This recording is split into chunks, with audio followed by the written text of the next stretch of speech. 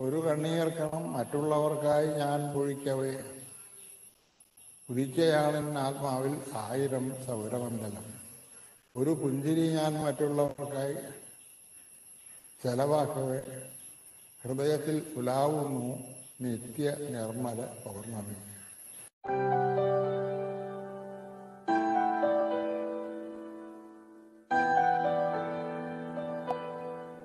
മഹാകവി അക്കിത്തം അച്യുതൻ നമ്പൂതിരി എന്ന യുഗപ്രഭാവൻ അനശ്വരതയുടെ ഉത്തുംഗ ശൃംഗങ്ങളിൽ സ്ഥാനം പിടിക്കുകയാണ്. ഋഷിതുല്യനായ മുതിർന്ന കവിയായ അക്കിത്തം സാഹിത്യശാഖയ്ക്ക് സമ്മാനിച്ചത് എക്കാലത്തെയും സൗഭാഗ്യ സമ്പൽ കൃതികളായിരുന്നു. ആയിരത്തി തൊള്ളായിരത്തി ഇരുപത്തി ആറ് മാർച്ച് പതിനെട്ടിന് അക്കിത്തത്ത് വാസുദേവൻ നമ്പൂതിരിയുടെയും ചേകൂർ മനയ്ക്കൽ പാർവതി അന്തർജനത്തിന്റെ മകനായി പാലക്കാട് ജില്ലയിലെ കുമരനെല്ലൂരിലെ ആമീറ്റൂർ അപ്പിത്തത്ത് മനയിലാണ് അദ്ദേഹം ജനിച്ചത്. ചിത്രകലയുടെയും സംഗീതത്തിന്റെയും നിറമുറ്റ ലോകത്തിലായിരുന്നു തന്റെ ബാല്യ കൗമാരങ്ങളെ അദ്ദേഹം പ്രതിഷ്ഠിച്ചത്. എട്ടാം വയസ്സിൽ തന്നെ കവിതകൾ എഴുതാൻ ആരംഭിച്ചു. പന്ത്രണ്ടാം വയസ്സുവരെ ഋഗ്വേദവും പിന്നീട് സംസ്കൃതവും ജ്യോതിഷവും പതിനാലാം വയസ്സിൽ ഇംഗ്ലീഷും കണക്കും അഭ്യസിച്ചു. വി. ഡി. നിന്നും തമിഴും അഭ്യസിച്ചിട്ടുണ്ട്. കോഴിക്കോട് സാമൂതിരി കോളേജിൽ ഉപരിപഠനത്തിന് ചേർന്നെങ്കിലും രോഗം നിമിത്തം പഠിപ്പ് തുടരാൻ കഴിഞ്ഞില്ല. വിവിധ കലകളിൽ അവഗാഹം നേടിയ അദ്ദേഹം ആയിരത്തി തൊള്ളായിരത്തി നാൽപ്പത്തി ആറ് മുതൽ മൂന്ന് കൊല്ലം ഉണ്ണി നമ്പൂതിരിയുടെ പ്രസാധകനായി. ഉണ്ണി നമ്പൂതിരിയിലൂടെ സാമുദായ പ്രവർത്തനത്തിലേക്ക് ഇറങ്ങിയ അദ്ദേഹം മംഗളോദയം യോഗക്ഷേമം എന്നിവയുടെ സഹപത്രാധിപരായും പ്രവർത്തിച്ചിട്ടുണ്ട്. ആയിരത്തി തൊള്ളായിരത്തി അൻപത്തി ആറ് മുതൽ കോഴിക്കോട് ആകാശവാണി നിലയത്തിൽ സ്ക്രിപ്റ്റ് എഴുത്തുകാരനായി പ്രവർത്തിച്ച അദ്ദേഹം ആയിരത്തി തൊള്ളായിരത്തി എഴുപത്തി അഞ്ചിൽ ആകാശവാണി തൃശൂർ നിലയത്തിൽ എഡിറ്ററായും ചുമതല വഹിച്ചിട്ടുണ്ട്. ആയിരത്തി തൊള്ളായിരത്തി എൺപത്തി അഞ്ചിൽ ആകാശവാണിയിൽ നിന്ന് വിരമിച്ചു.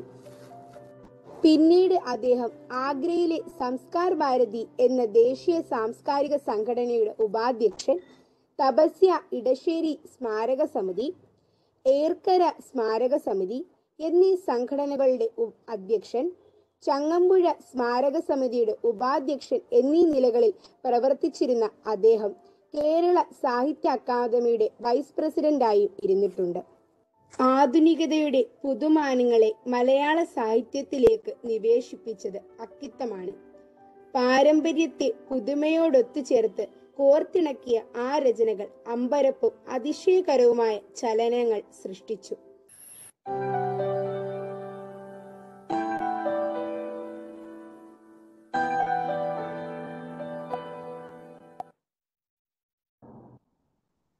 മാമലകൾക്കപ്പുറത്ത് മരതകപ്പട്ടെടുത്ത് മലയാളം എന്നൊരു നാടുണ്ട്. നമ്മുടെ ഈ കൊച്ചു മലയാള നാട്ടിൽ കേരള പിറവിയെ പറ്റി നമ്മോട് സംസാരിക്കുന്നതിനായി സ്വാഗതം സ്നേഹ. എല്ലാവർക്കും എന്റെ വിനീതമായ നമസ്കാരം. ഞാൻ സ്നേഹ ശശികുമാർ.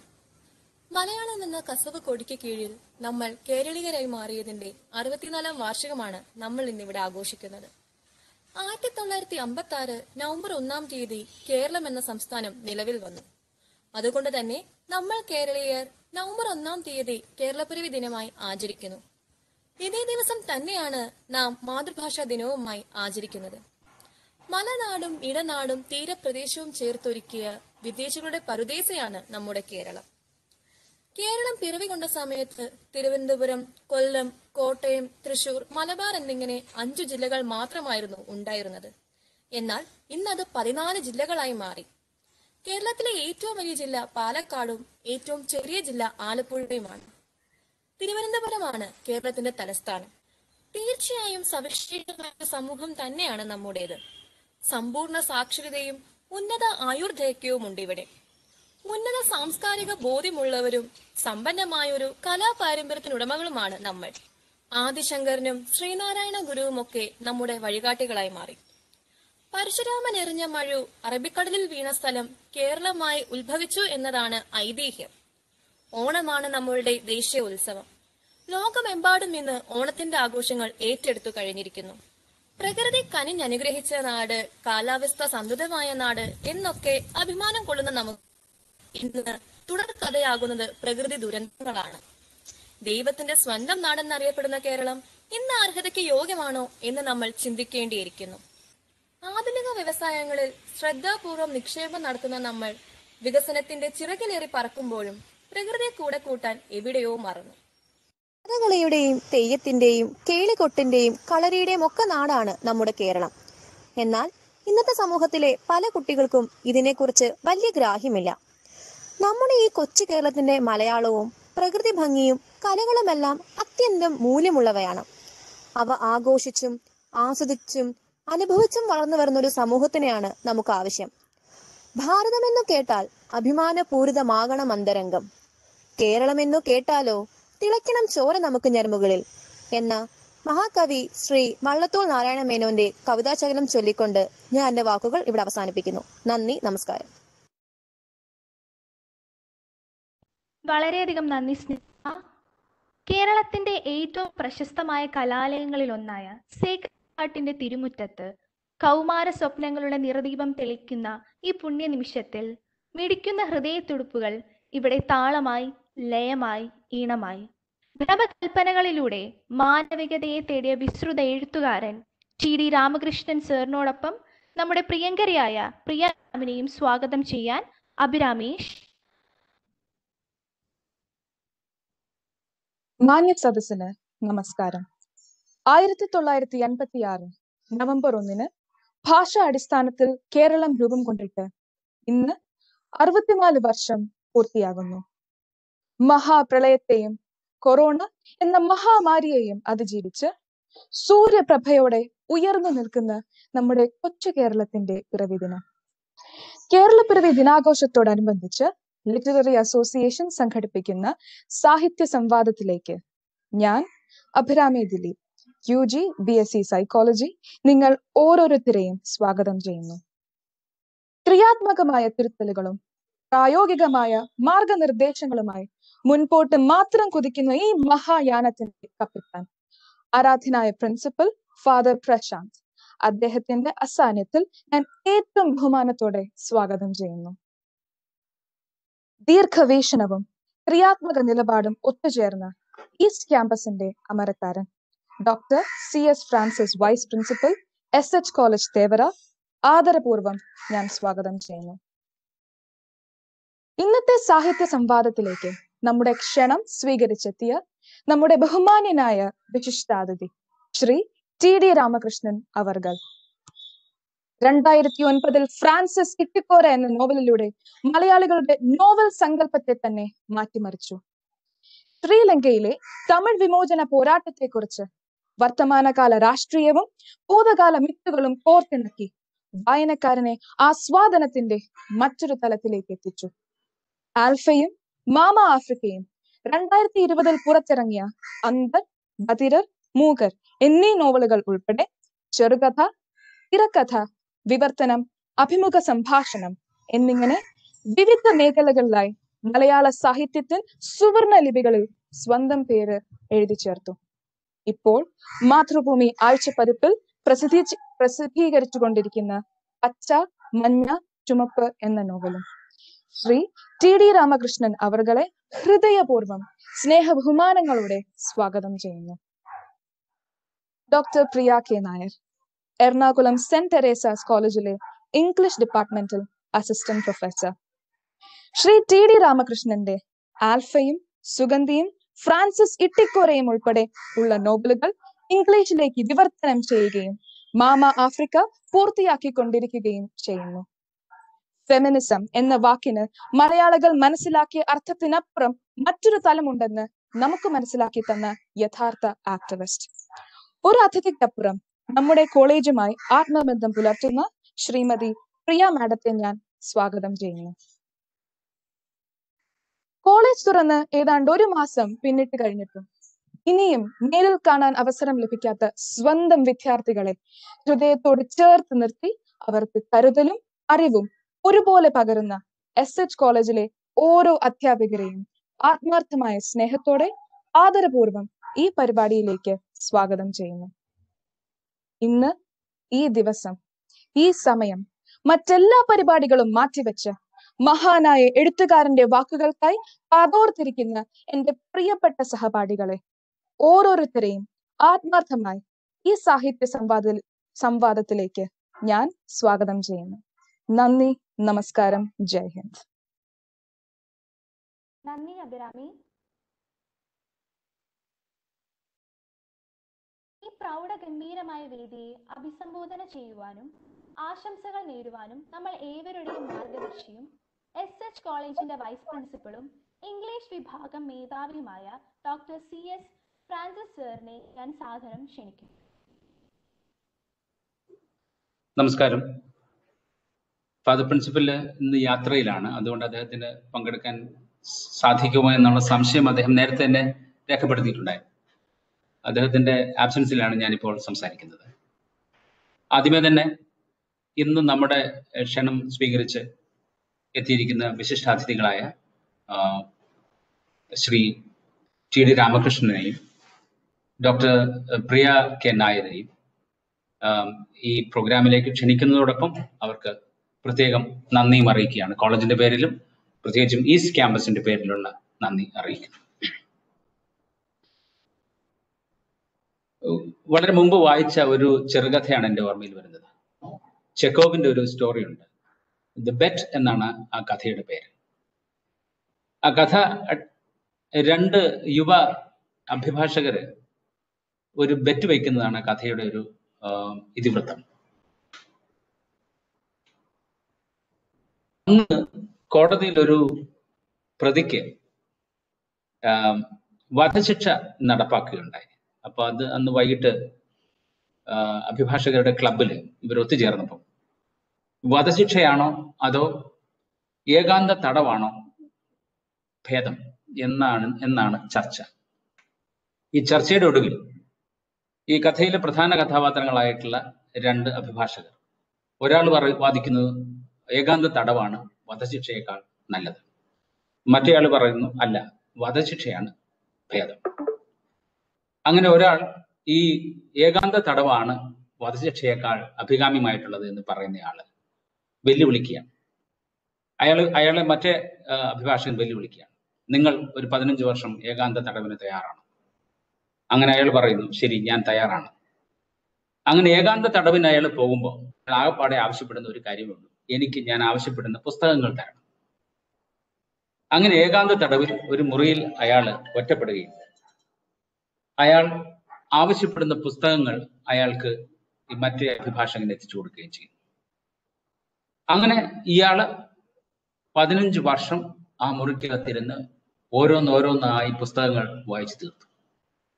ഒടുവിൽ പതിനഞ്ച് വർഷം പൂർത്തിയാകുന്ന അന്ന് രാത്രിയിൽ ഇയാൾ ഒരു കുറിപ്പ് എഴുതി വെച്ച് ഏകാന്ത തടവിൽ നിന്നും സ്വയം ആ തടവിന്റെ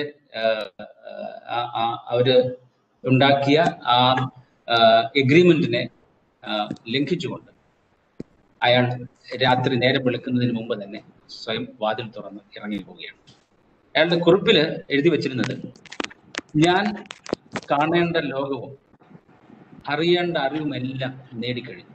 എനിക്ക് പതിനഞ്ച് വർഷം നഷ്ടപ്പെട്ടുമല്ല ഞാൻ അതിനേക്കാൾ എത്രയോ കാലം കൂടുതൽ ജീവിച്ച അനുഭവങ്ങൾ എനിക്ക് കിട്ടിക്കഴിഞ്ഞു. അതുകൊണ്ട് ഇനി എനിക്ക് നിങ്ങൾ വാഗ്ദാനം ചെയ്ത വലിയ സമ്മാനത്തുക ആവശ്യം എന്ന് പറഞ്ഞുകൊണ്ടാണ് എന്ന് കുറിപ്പ് എഴുതിയിട്ടാണ് അയാൾ ഇറങ്ങിയത് ഇതാണ് വായനയുടെ ഒരു പ്രപഞ്ചം. നമുക്ക് ഒരു ജീവിതം ജീവിക്കുന്നുള്ളൂ. പക്ഷെ കാലത്തിന്റെയും സ്ഥലത്തിന്റെയും അതിർത്തികൾക്ക് അപ്പുറത്തേക്ക് സഞ്ചരിക്കാൻ. നാം ജീവിക്കാത്ത അഥവാ നമുക്ക് ജീവിക്കാൻ സാധിക്കാത്ത ജീവിതങ്ങളിലൂടെ കടന്നു പോകാനും കഴിയുന്നതാണ് ഈ വായനയുടെ വായന നമുക്ക് തന്നെ അനുഭവം. പലപ്പോഴും ഇപ്പോൾ ഈ കഴിഞ്ഞ ഒരു പത്ത് മുപ്പത് വർഷങ്ങൾ ഇരുപത് വർഷങ്ങളായി ഈ ദൃശ്യ ദൃശ്യമാധ്യമങ്ങൾ കടന്നു വര കഴിഞ്ഞതിന് ശേഷം പലരും പറയാറുണ്ട് വായന കുറഞ്ഞിരിക്കുന്നു വായന കുറഞ്ഞിരിക്കുന്നു. പക്ഷേ ഒരു കുറച്ചു കാലം മുമ്പ് ശ്രീ ടി ഡി രാമകൃഷ്ണൻ തന്നെ അദ്ദേഹത്തിന്റെ ഒരു ഇന്റർവ്യൂവിൽ അങ്ങനല്ല വായനക്കാർക്ക് ഒരു കുറവും സംഭവിച്ചിട്ടില്ല എന്ന് സാക്ഷ്യപ്പെടുത്തുന്നത് വളരെ കൗതുകത്തോടെ കൂടിയാണ് ഞാൻ കേട്ടത്. ഒരുപക്ഷെ അദ്ദേഹം പറഞ്ഞത് തികച്ചും ശരിയാണ്. അദ്ദേഹത്തിന് അറിയാം അദ്ദേഹത്തിന്റെ പുസ്തകങ്ങളുടെ ഒരു വിറ്റഴിക്കപ്പെടുന്നതിന്റെ ഒരു വേഗം. അല്ലെങ്കിൽ അതിന്റെ ഒരു അത് ശ്രദ്ധിച്ചാൽ അദ്ദേഹത്തിന് മനസ്സിലാവും വായനക്കാരുണ്ടോ. ഒരുപക്ഷെ ഈ ദൃശ്യം ഈ പുതിയ സാങ്കേതിക വിദ്യകൾ നമ്മുടെ വായനക്കാർക്ക് വായന കുറെ കൂടി അടുത്തേക്ക് എത്തിച്ചു എന്നുള്ളതാണ് സത്യം. ഇന്ന് നമുക്ക് പുസ്തക സ്റ്റാളിൽ പോയിട്ട് തപ്പി അതിന്റെ ബ്ലർബ് വായിച്ച് ഒരു പുസ്തകം വാങ്ങേണ്ടതില്ല. നിങ്ങൾക്ക് വീട്ടിലിരുന്ന് പുസ്തകം വാങ്ങാം. നിങ്ങൾക്ക് ബ്ലേബ് വായിക്കുന്നതിന് പകരം വായനക്കാരായ ആളുകളുടെ നിരവധിയായിട്ടുള്ള വളരെ ഹ്രസ്വമായിട്ടുള്ള നിരീക്ഷണങ്ങൾ ഈ പുസ്തകത്തെ കുറിച്ചുള്ള നിരീക്ഷണങ്ങൾ മതി നമുക്ക് ഏത് പുസ്തകം വാങ്ങണമെന്ന് തീരുമാനിക്കാം. അതിനുള്ള ഒരു സൗകര്യം. എന്ന് തന്നെയല്ല അതിനേക്കാൾ ഉപരിയായിട്ട് വിദ്യയുടെ ഒരു ഒരു പ്രത്യേകത എന്ന് പറയുന്നത് മറ്റു കാലത്തേക്കാളും വളരെ വില കുറച്ച് തന്നെ നമുക്ക് പുസ്തകങ്ങൾ ഇന്ന് ലഭ്യമാണെന്നുള്ളതാണ് സത്യം. അതുകൊണ്ട് വായനയുടെ ഒരു സാധ്യതകൾ ഇന്ന് കൂടിയിരിക്കുകയാണ്. വായനയിലേക്ക് നമ്മൾ എത്തിച്ചേരേണ്ട ഒരു ഒരു ഒരു പ്രശ്നം മാത്രമേ ഉള്ളൂ. അതിന് പലരും പറയുന്ന കാരണം പലരും പറയുന്നത് സമയമില്ല. ഈ സമയം എന്ന് പറയുന്നത് വളരെ ആപേക്ഷികമായിട്ടുള്ള ഒന്നാണെന്ന് പ്രൂവ് ചെയ്തുകൊണ്ട് നമ്മുടെ മുമ്പിൽ ഇരിക്കുന്ന ഒരാളുണ്ട്. മറ്റാരുമല്ല ഡോക്ടർ പ്രിയ കെ നായർ തന്നെയാണ്. അധ്യാപകർ എല്ലാ കാലത്തും പറഞ്ഞുകൊണ്ടിരിക്കുന്ന ഒരു കാര്യം പ്രത്യേകിച്ചും ഈ സെമസ്റ്റർ സിസ്റ്റം തുടങ്ങിയതിന് ശേഷം അതുപോലെ തന്നെ ഓട്ടോണമസ് ആയതിനു ശേഷം കോളേജുകളൊക്കെ ഓട്ടോണമസ് ആയതിനു ശേഷം പറയുന്ന കാര്യം സമയമില്ല എന്നുള്ളതാണ്. പക്ഷേ ഡോക്ടർ പ്രിയ എനിക്കറിയാം അധ്യാപനത്തിൽ ഒരു കോംപ്രമൈസ് ചെയ്യാറില്ല. ഏത് ഉത്തരവാദിത്വം കൊടുത്താലും ഒരു കോംപ്രമൈസ് ചെയ്യാതെ ജോലി ചെയ്യുകയും അതോടൊപ്പം തന്നെ വായനയ്ക്കും ഗവേഷണത്തിനും ഈ പരിഭാഷപ്പെടുത്തൽ പോലുള്ള വളരെ സമയം ആവശ്യമുള്ള തരത്തിലുള്ള പ്രവർത്തനങ്ങൾക്കും സമയം കണ്ടെത്തുന്നു എന്നുള്ളത് വളരെ അത്ഭുതത്തോടുകൂടിയാണ് ഞാൻ നോക്കി കണ്ടിട്ടുള്ളത് അത് തന്നെ കാണിക്കുന്നത് സമയം എന്ന് പറയുന്നത് ആപേക്ഷികമാണെന്നുള്ളതാണ്. ഡോക്ടർ പ്രിയയ്ക്കും എനിക്കുമൊക്കെയുള്ള ഏതാണ്ട് ഒരേ സമയമാണ്. പക്ഷെ കൂടുതൽ ചെയ്യാൻ കഴിയുന്നു എന്നുള്ളതാണ് പ്രിയയ്ക്ക്. അപ്പൊ വായന എന്ന് പറയുന്നത് സമയമില്ല എന്ന് പറയുന്ന ഒരു എക്സ്ക്യൂസ് അല്ല എന്ന് തന്നെയാണ് ഇത് കാണിക്കുന്നത്. പിന്നെ വേണ്ടത് പരിചയപ്പെടലാണ്. പുസ്തകങ്ങളെ പരിചയപ്പെടലാണ്. അത് ആ ഒരു പ്രവർത്തനമാണ് ഈ നമ്മുടെ ലിറ്റററി ക്ലബ്ബ് പോലത്തെ കൂട്ടായ്മകൾ നടത്തേണ്ടത് അഥവാ നടത്തുന്നത്. ഈ അത് അത് ഇപ്പൊ ഈ സാങ്കേതിക വിദ്യ പറഞ്ഞ കൂട്ടത്തിൽ ഇതും കൂടി പറയേണ്ടിയിരിക്കുന്നു. മുമ്പത്ത് മുമ്പ് ഒരു സാഹിത്യകാരനെ ഞാനൊക്കെ കോളേജിലും സ്കൂളിലൊക്കെ പഠിക്കുമ്പോൾ ഒരു സാഹിത്യകാരനെ കണ്ടുമുട്ടുക എന്ന് പറയുന്നത് വളരെ അപൂർവം സംഭവിക്കുന്ന കാര്യമാണ്. അദ്ദേഹം വരണം. ഇങ്ങനെയുള്ള ആളുകളൊക്കെ എവിടെയെങ്കിലും വരുമ്പോഴോ അല്ലെങ്കിൽ നമ്മൾ ഏതെങ്കിലുമൊക്കെ ഒരു വേദിയിൽ ചെല്ലുമ്പോഴൊക്കെ കാണും. ഇപ്പൊ അങ്ങനല്ല. ഇപ്പം ദൃശ്യമാധ്യമങ്ങളിലൂടെ അവരുടെ ധാരാളം ചർച്ചകൾ അവരെ കാണാൻ കഴിയുന്നു. ലിറ്റററി ഫെസ്റ്റിവൽ നമ്മുടെ നാട്ടിൽ ധാരാളം നടക്കുന്നു. അപ്പൊ അവരുമായിട്ട് നേരിട്ട് സംവദിക്കാനുള്ള അവസരങ്ങൾ ഉണ്ടാകും അപ്പൊ ഇങ്ങനെ ഇവരുമായിട്ട് സംവദിച്ചു കഴിയുമ്പോഴാണ് നമുക്ക് ഈ പുസ്തകങ്ങൾ ഒന്ന് വായിക്കണമല്ലോ എന്നുള്ള ഒരു ആഗ്രഹം. ഇത്തരത്തിൽ ഈ വായനക്കാരെ പ്രത്യേകിച്ചും യുനോ യുവാക്കളായിട്ടുള്ള വായനക്കാരെ വായനയിലേക്ക് അടുപ്പിക്കുന്നതിന് വേണ്ടിയിട്ട് ഇത്തരം കൂട്ടായ്മകൾ തീർച്ചയായിട്ടും സഹായിക്കുമെന്ന് തന്നെയാണ് ഞാൻ വിചാരിക്കുന്നത്. അതുപോലെ ശ്രീ ടി ടി ഡി രാമകൃഷ്ണനെ പോലുള്ള ആളുകൾ ആ സമയം കണ്ടെത്തി നമ്മളുമായി സംവദിക്കാൻ എത്തിച്ചേരുന്നു എന്നുള്ളത് ആണ് വലിയൊരു മറ്റൊരു ഭാഗ്യം. അപ്പൊ ഈ- രണ്ട് കാരണത്താൽ ഈ ഈ ദിവസം വളരെ സമ്പന്നമാണെന്ന് ഞാൻ വിചാരിക്കുന്നു. അപ്പൊ ശ്രീ രാമകൃഷ്ണനും ഡോക്ടർ പ്രിയയ്ക്കും ഒരിക്കൽ കൂടി സ്വാഗതം ആശംസിച്ചുകൊണ്ടും ഈ ലിറ്റററി ക്ലബിന് എപ്പിലാറ്ററി എന്നാണ് അതിന് അവർ പേര് കൊടുത്തിരിക്കുന്നത്. അക്ഷര പ്രേമികളുടെ അഥവാ വാക്കുകളെ ആരാധിക്കുന്നവരുടെ ഒരു കൂട്ടം എന്നാണ് അതിന് പേരിട്ടിരിക്കുന്നത്. ഈ അക്ഷര അല്ലെങ്കിൽ ഈ വായന കൂട്ടായ്മയ്ക്ക് എന്റെ എല്ലാവിധ ആശംസകളും നേർന്നുകൊണ്ട് ഞാൻ നിർത്തുന്നു. നന്ദി. പ്രൗഢഗംഭീരമായ വേദിയെ അഭിസംബോധന ചെയ്യാൻ നമ്മുടെ ഏവരുടെയും പ്രിയങ്കരനായ പ്രിൻസിപ്പൽ അച്ഛനെ ഞാൻ സ്വസ്വാഗതം ക്ഷണിക്കുന്നു. ഈ അവസരത്തിൽ എന്നോടൊപ്പം ചേരുവാനായിട്ട് ആഗ്രഹിച്ചത് ഒന്നാമത് നമ്മുടെ ഇവിടെ വന്നിരുന്ന വിശിഷ്ട അതിഥികളെ എന്റെ പേരിലും ഞാൻ വളരെ ഹൃദയപൂർവം അതുപോലെ തന്നെ ഡോക്ടർ പ്രിയയും വളരെ സന്തോഷപൂർവം സ്നേഹപൂർവം സ്വാഗതം ചെയ്യുന്നു. വളരെയധികം നന്ദി ഫാദർ. സമാനതകളില്ലാതെ ശില്പചാരു ചാതുര്യത്തിന്റെ ക്ഷേത്രഗോപുരങ്ങൾ പണിതീർത്ത. മലയാള സാഹിത്യത്തിലെ ഹൈപ്പർ റിയാലിറ്റിയുടെ അത്യപൂർവമായ പൂർണതയുള്ള കഥാപാത്രങ്ങളെ സൃഷ്ടിച്ച മലയാള സാഹിത്യത്തിന്റെ നോബൽ സമ്മാനമായ വയലാർ അവാർഡ് നേടിയ. തന്റെ എഴുത്തിലൂടെ കേരളത്തിന്റെ സാമൂഹിക സാംസ്കാരിക രാഷ്ട്രീയ മേഖലകളിൽ വ്യക്തമായ പാദമുദ്ര പതിപ്പിച്ച നമ്മുടെ ടി ഡി സാറിന് ഞങ്ങളുടെ തിരുഹൃദയത്തിന്റെ മുറ്റത്തേക്ക് സ്വാഗതം. ഈ സാഹിത്യ കൂട്ടായ്മയുടെ ഒരു ഭാഗമായിട്ട് ഇതിൽ പങ്കെടുക്കാനും നിങ്ങളോട് സംസാരിക്കാനും ഒക്കെ ഒരു അവസരം ലഭിച്ചതിൽ ആദ്യമായിട്ട് നന്ദി പറയുകയാണ്. വളരെ സന്തോഷമുണ്ട് ഇത്തരം ഒരു മഹാമാരിയുടെ കാലത്ത് പുതിയ സാങ്കേതിക വിദ്യയുടെ സാധ്യത ഉപയോഗിച്ചിട്ടാണെങ്കിൽ നമ്മൾക്ക് ഒരുമിച്ച് കൂടാനും അക്ഷരങ്ങളെ ആരാധിക്കുന്നവരുടെ ഈ ഒരു സംഘത്തിന്റെ പ്രവർത്തനങ്ങൾക്ക് ഒരു തുടക്കം കുറിക്കാനും ഒക്കെ കഴിയുന്നതിൽ വലിയ സന്തോഷം. ആദ്യമായിട്ട് ഈ സാഹിത്യ കൂട്ടായ്മയുടെ ഔപചാരികമായ ഉദ്ഘാടനം ചെയ്തതായിട്ട് നിങ്ങളെ അറിയിക്കുന്നു.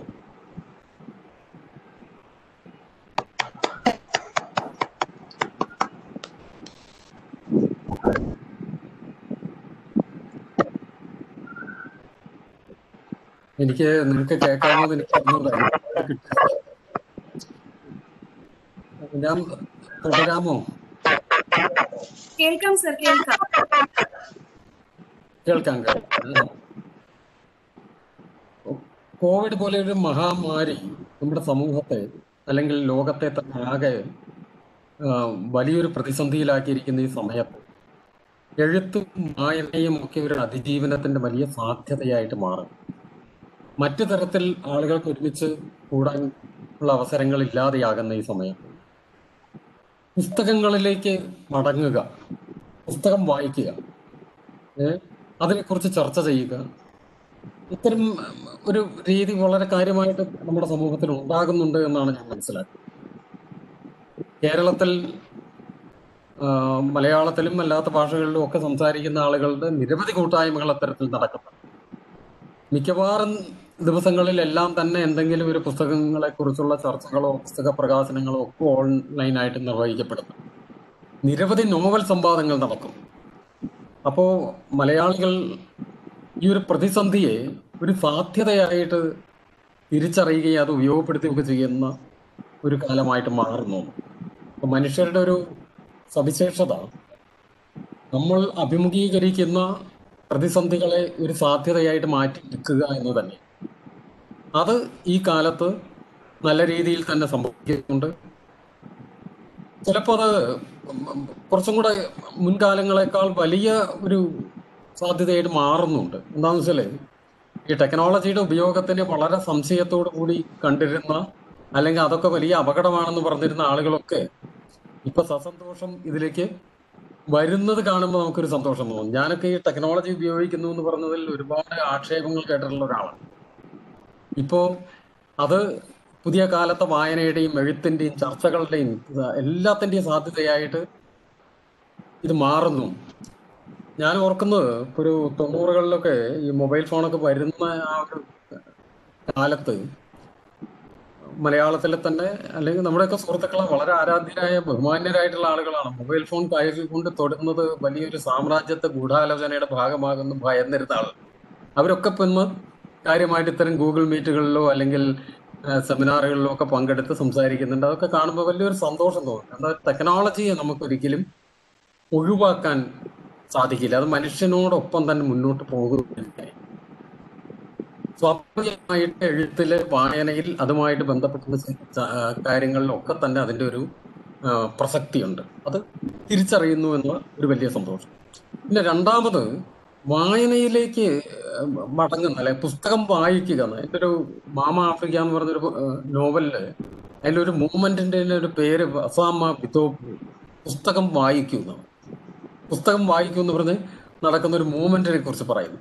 ഈ പുസ്തകങ്ങൾ വായിക്കാനുള്ള താല്പര്യം അല്ലെങ്കിൽ അതിലേക്ക് കൂടുതൽ ആളുകൾ വരുന്ന ഒരു കാലത്താണ് നിങ്ങളുടെ ഈ അക്ഷര സ്നേഹികളുടെ അക്ഷരങ്ങളെ ആരാധിക്കുന്ന ഒരു കൂട്ടം ഉണ്ടാകുന്നത്. അത് എസ് എച്ച് കോളേജിന്റെ വലിയ ഒരു ഭാഗ്യമായിട്ടാണ് എനിക്ക് തോന്നിയത്. വലിയ സന്തോഷം. ഞാൻ ആമുഖമായിട്ട് ഇത്രയ്ക്ക് പറയാൻ ഉദ്ദേശിക്കുന്നു ഇത്തരം മീറ്റിങ്ങുകളിൽ നമുക്ക് ദീർഘമായിട്ട് സംസാരിക്കുന്നതിലും വലിയ പരിമിതിയുണ്ട്. ഇനി ഇത് ഒരു സുഗന്ധിയെക്കുറിച്ചുള്ള ഒരു ചടങ്ങ് കൂടി ആയതുകൊണ്ട് അതിനെക്കുറിച്ച് ചില കാര്യങ്ങൾ കൂടി പറയാം എന്ന് വിചാരിക്കുന്നു. സുഗന്ധി എന്ന ആണ്ടാൾ ദേവനായകി അതിന്റെ പശ്ചാത്തലവും അതിനെ കുറിച്ചൊക്കെ പലതവണ പറഞ്ഞിട്ടുള്ളതാണ്. അതിനെക്കുറിച്ച് കൂടുതൽ വിശദീകരിക്കാതെ തന്നെ നിങ്ങൾക്ക് പലർക്കും അറിയാം. എന്നാലും ഒന്ന് രണ്ട് കാര്യങ്ങൾ പറയാൻ ആഗ്രഹിക്കുന്ന എന്താണെന്ന് വെച്ചാൽ സുഗന്ധി എഴുതുന്ന ഒരു കാലം ഒരു രണ്ടായിരത്തി പത്ത് പതിനൊന്നിനൊക്കെ ശേഷമുള്ള ഒരു കാലത്താണ് സുഗന്ധിയുടെ ചിന്തകൾ നമ്മുടെ മനസ്സിലേക്ക് വരുന്നത്. ആ രൂപത്തിലൊന്നും ആയിരുന്നില്ല. പിന്നീടാണ് അതൊരു നോവലിന്റെ ഒക്കെ സ്വഭാവത്തിലേക്ക് എത്തുന്നതും. അപ്പൊ നമ്മൾ നമുക്ക് തൊട്ടടുത്ത് കിടക്കുന്ന ഒരു പ്രദേശമായ ശ്രീലങ്കയിൽ വലിയൊരു ആഭ്യന്തര യുദ്ധം നടക്കുകയും ലക്ഷക്കണക്കിന് ആളുകൾ കൊല്ലപ്പെട്ട ഒരു കൂട്ടക്കൊല അതിന്റെ പരിസമാപ്തിയിൽ സംഭവിക്കുകയൊക്കെ ചെയ്ത സമയം. നമ്മുടെ കേരളീയ സമൂഹം അതിനെ വളരെ നിസ്സംഗമായിട്ട് കണ്ടോ എന്നെനിക്കൊരു സംശയം തോന്നി. അതിന്റെ ഒരു പശ്ചാത്തലത്തിലാണ് അത് എഴുതാനായിട്ട് ആദ്യം ഒരു നോവലൈസ്ഡ് ആയിട്ടൊക്കെ എഴുതാൻ ഉദ്ദേശിക്കുകയും പിന്നീട് അത് ആ രീതിയിൽ പോരാന്ന് തോന്നിയിട്ട് വീണ്ടും ഡെവലപ്പ് ചെയ്ത് ഒരു നോവലാക്കുകയൊക്കെയാണ് ചെയ്തത്. അപ്പൊ അതിനു വേണ്ടി നമ്മൾ അന്വേഷണങ്ങൾ അതുപോലെ അതിനായിട്ട് നടത്തിയ പല സുഹൃത്തുക്കളുമായിട്ടുള്ള സംഭാഷണങ്ങളിലൊക്കെ എന്റെ മുന്നിലേക്ക് വന്നൊരു കാര്യം അത് ഈ നോവൽ എഴുതുന്നതിന് മുമ്പേയൊക്കെ നമ്മുടെ മനസ്സിൽ അല്ലെങ്കിൽ അതിനുള്ള ഉദ്ദേശങ്ങൾ ചിന്തകൾക്ക് മുമ്പ് നമ്മൾ അറിയുന്ന ശ്രീലങ്കയിലെ രണ്ട് അതി ശക്തരായ വയലൻസിന്റെ പ്രയോക്താക്കളും വക്താക്കളുമായിട്ടുള്ള ഗവൺമെന്റും എൽ ടി ടിയെ പറ്റിയിട്ടാണ്. ഈ- ഇതിന് ഇടയിൽ സമാധാനത്തിന് വേണ്ടി സംസാരിക്കുന്ന കുറെ ആളുകളെ കാണാൻ പറ്റും. ലോകത്തിൽ എത്ര ഭീകരമായ ഹിംസ ഹിംസ ആഘോഷിക്കപ്പെടുന്ന സമയത്തും അതിനുള്ളിൽ സമാധാനത്തിന് വേണ്ടി സംസാരിക്കുന്ന സമാധാനകാംക്ഷികളായ സമാധാനം ആഗ്രഹിക്കുന്നവരായ കുറച്ചു പേരെങ്കിലും ഉണ്ടാവും. ഇവർ അവരുടേതായ തരത്തിലുള്ള ചെറുത്തുനിൽപ്പുകൾക്ക് ശ്രമിക്കും. പലപ്പോഴും പരാജിതരാകാനായിരിക്കും അവരുടെ വിധി. എങ്കിൽ പോലും ആ ചെറുത്തു നിൽക്കാനായി തയ്യാറാകുന്ന കുറച്ച് ആളുകൾ രജനി കിരണഗാമിയെ പോലെ ഉള്ള ആളുകളെ പറ്റി ഞാൻ ശാരീരികമായിട്ടാണ് സംസാരിക്കുന്നത്. അവരുടെ മകളായിട്ടാണ് സംസാരിച്ചത്. അപ്പൊ അത്തരം ഉള്ള ആളുകൾ. അതുപോലെ തന്നെ വളരെ ഇപ്പൊ സുഗന്ധിയിൽ ശിശു ശിവപാലൻ എന്ന് പറഞ്ഞൊരു ഡ്രൈവറെ പറ്റിയിട്ട് പറയാം. സുഗന്ധി ബായി നിങ്ങൾക്കറിയാം ഒരു ചെറിയൊരു കഥാപാത്രം. അദ്ദേഹം ഞാൻ ജാഫ്നയിൽ സഞ്ചരിക്കുന്ന സമയത്ത് എന്റെ വണ്ടിയുടെ ഡ്രൈവറായി കൂടെ വന്ന ഒരാളാണ്. അതേ പേരിലല്ല. അപ്പോൾ അവിടുത്തെ ഈ വയലൻസിനെ കുറിച്ചുള്ള കാര്യങ്ങളോട് പൊളിറ്റിക്കലായിട്ടുള്ള കാര്യങ്ങളെ കുറിച്ച് സംസാരിക്കുമ്പോൾ അദ്ദേഹം നിശബ്ദനാണ്. ഭയം ഒരു സമൂഹത്തിനെ ആകെ മുഴുങ്ങിക്കിടക്കുന്ന ഒരു കാലത്താണ്. ഇത് എഴുതി കഴിഞ്ഞ് അത് പുസ്തകമാവുന്നു. വലിയ സംശയം ഉണ്ടായിരുന്നു ആളുകൾ എത്രത്തോളം വായിക്കും. ഇപ്പൊ തമിഴ് ഒരു ഒരു സ്വാധീനമുള്ള പുസ്തകമാണത് അതിനൊക്കെ ശേഷം ഇന്നത്തെ ഒരു കാലത്തേക്ക് എത്തുമ്പോഴും ഈ വയലൻസ് വളരെ ഭീകരമായി ലോകത്തിന്റെ പല സ്ഥലങ്ങളിലും ആവർത്തിക്കപ്പെടുന്നതാണ്. അതിന് അവസാനം ഉണ്ടാകുന്നില്ല എന്ന് മാത്രമല്ല അത് കൂടുതൽ കൂടുതൽ ക്രൂരമായി യുദ്ധങ്ങളുടെ നേരെ യുദ്ധങ്ങൾ അല്ലെങ്കിൽ പോലും പ്രോക്സി വാറുകളായിട്ട് പലതരത്തിലുള്ള യുദ്ധങ്ങളായിട്ട് മാറുന്നു. സ്ത്രീകളും കുട്ടികളും എല്ലായ്പ്പോഴും ഇതിന്റെ ഇരകളായി. വളരെ വേദന തോന്നുന്ന ഒരു കാര്യം അത് ഇതിന്റെ ഇടങ്ങളെ മാറുന്നു. ഇപ്പൊ ശ്രീലങ്കയിൽ നിന്ന് അത് ചിലപ്പോ സൗത്ത് സുഡാനിലേക്ക് മാറാം. അല്ലെങ്കിൽ മറ്റേതെങ്കിലും ചസ്നയിലേക്ക് മാറാം ഇറാഖിലേക്ക് മാറാം ഇറാനിലേക്ക് മാറാം. ഇങ്ങനെ ഇടങ്ങൾ മാറുന്നു എന്നല്ലാതെ കണ്ട് നിരന്തരം ആവർത്തിക്കപ്പെടുന്ന ഈ വയലൻസിന്റെ ഒരു ഭീകരത ലോകത്തൊന്നും അവസാനിക്കുന്നില്ല. ഇപ്പൊ കൊറോണ പോലെയുള്ള ഒരു മഹാമാരിയുടെ കാലത്തും നമ്മൾ നമ്മളെ ഭയപ്പെടുത്തുന്ന ഒരു കാര്യം സമൂഹത്തിൽ പടർന്നു പിടിക്കുന്ന വയലൻസ് ഇപ്പോഴും ഉണ്ടെന്നുള്ളത്. നിങ്ങൾ പത്രമാധ്യമങ്ങൾ അല്ലെങ്കിൽ ദൃശ്യമാധ്യമങ്ങളിൽ ശ്രദ്ധിക്കുന്നവർക്ക് അറിയാം ഇപ്പോഴും ഓരോ ദിവസവും നമ്മളെ പേടിപ്പിക്കുന്ന വാർത്തകൾ നമ്മളിലേക്ക് വരികയാണ് ശരിക്കും നമ്മൾ വലിയൊരു ദുരന്തത്തിന്റെ മുമ്പിലാണ് നിൽക്കുന്നത്. അങ്ങനെ നിൽക്കുന്ന സമയത്തും എങ്ങനെയാണ് മനു മനുഷ്യർക്ക് പരസ്പരം കൊല്ലാനും അല്ലെങ്കിൽ ആക്രമിക്കാനും ക്രൂരതകൾ നടപ്പാക്കാനും ഒക്കെ കഴിയുന്നത് നമുക്ക് കൂട്ടക്കൊലയുടെ അല്ലെങ്കിൽ റേപ്പിന്റെ ഒക്കെ നമ്മുടെ രാജ്യത്ത് പോലും ആവർത്തിക്കുന്നത് നമ്മൾക്ക് കാണേണ്ടി വരുന്ന ഒരു കാലമാണ്. ഞാൻ കൂടുതൽ ദീർഘിപ്പിക്കുന്നതിൽ ആമുഖമായിട്ട് ഇവിടെ ഏകദേശം ഒരു ഉദാഹരണം കിട്ടിക്കാണെന്ന് വിചാരിക്കും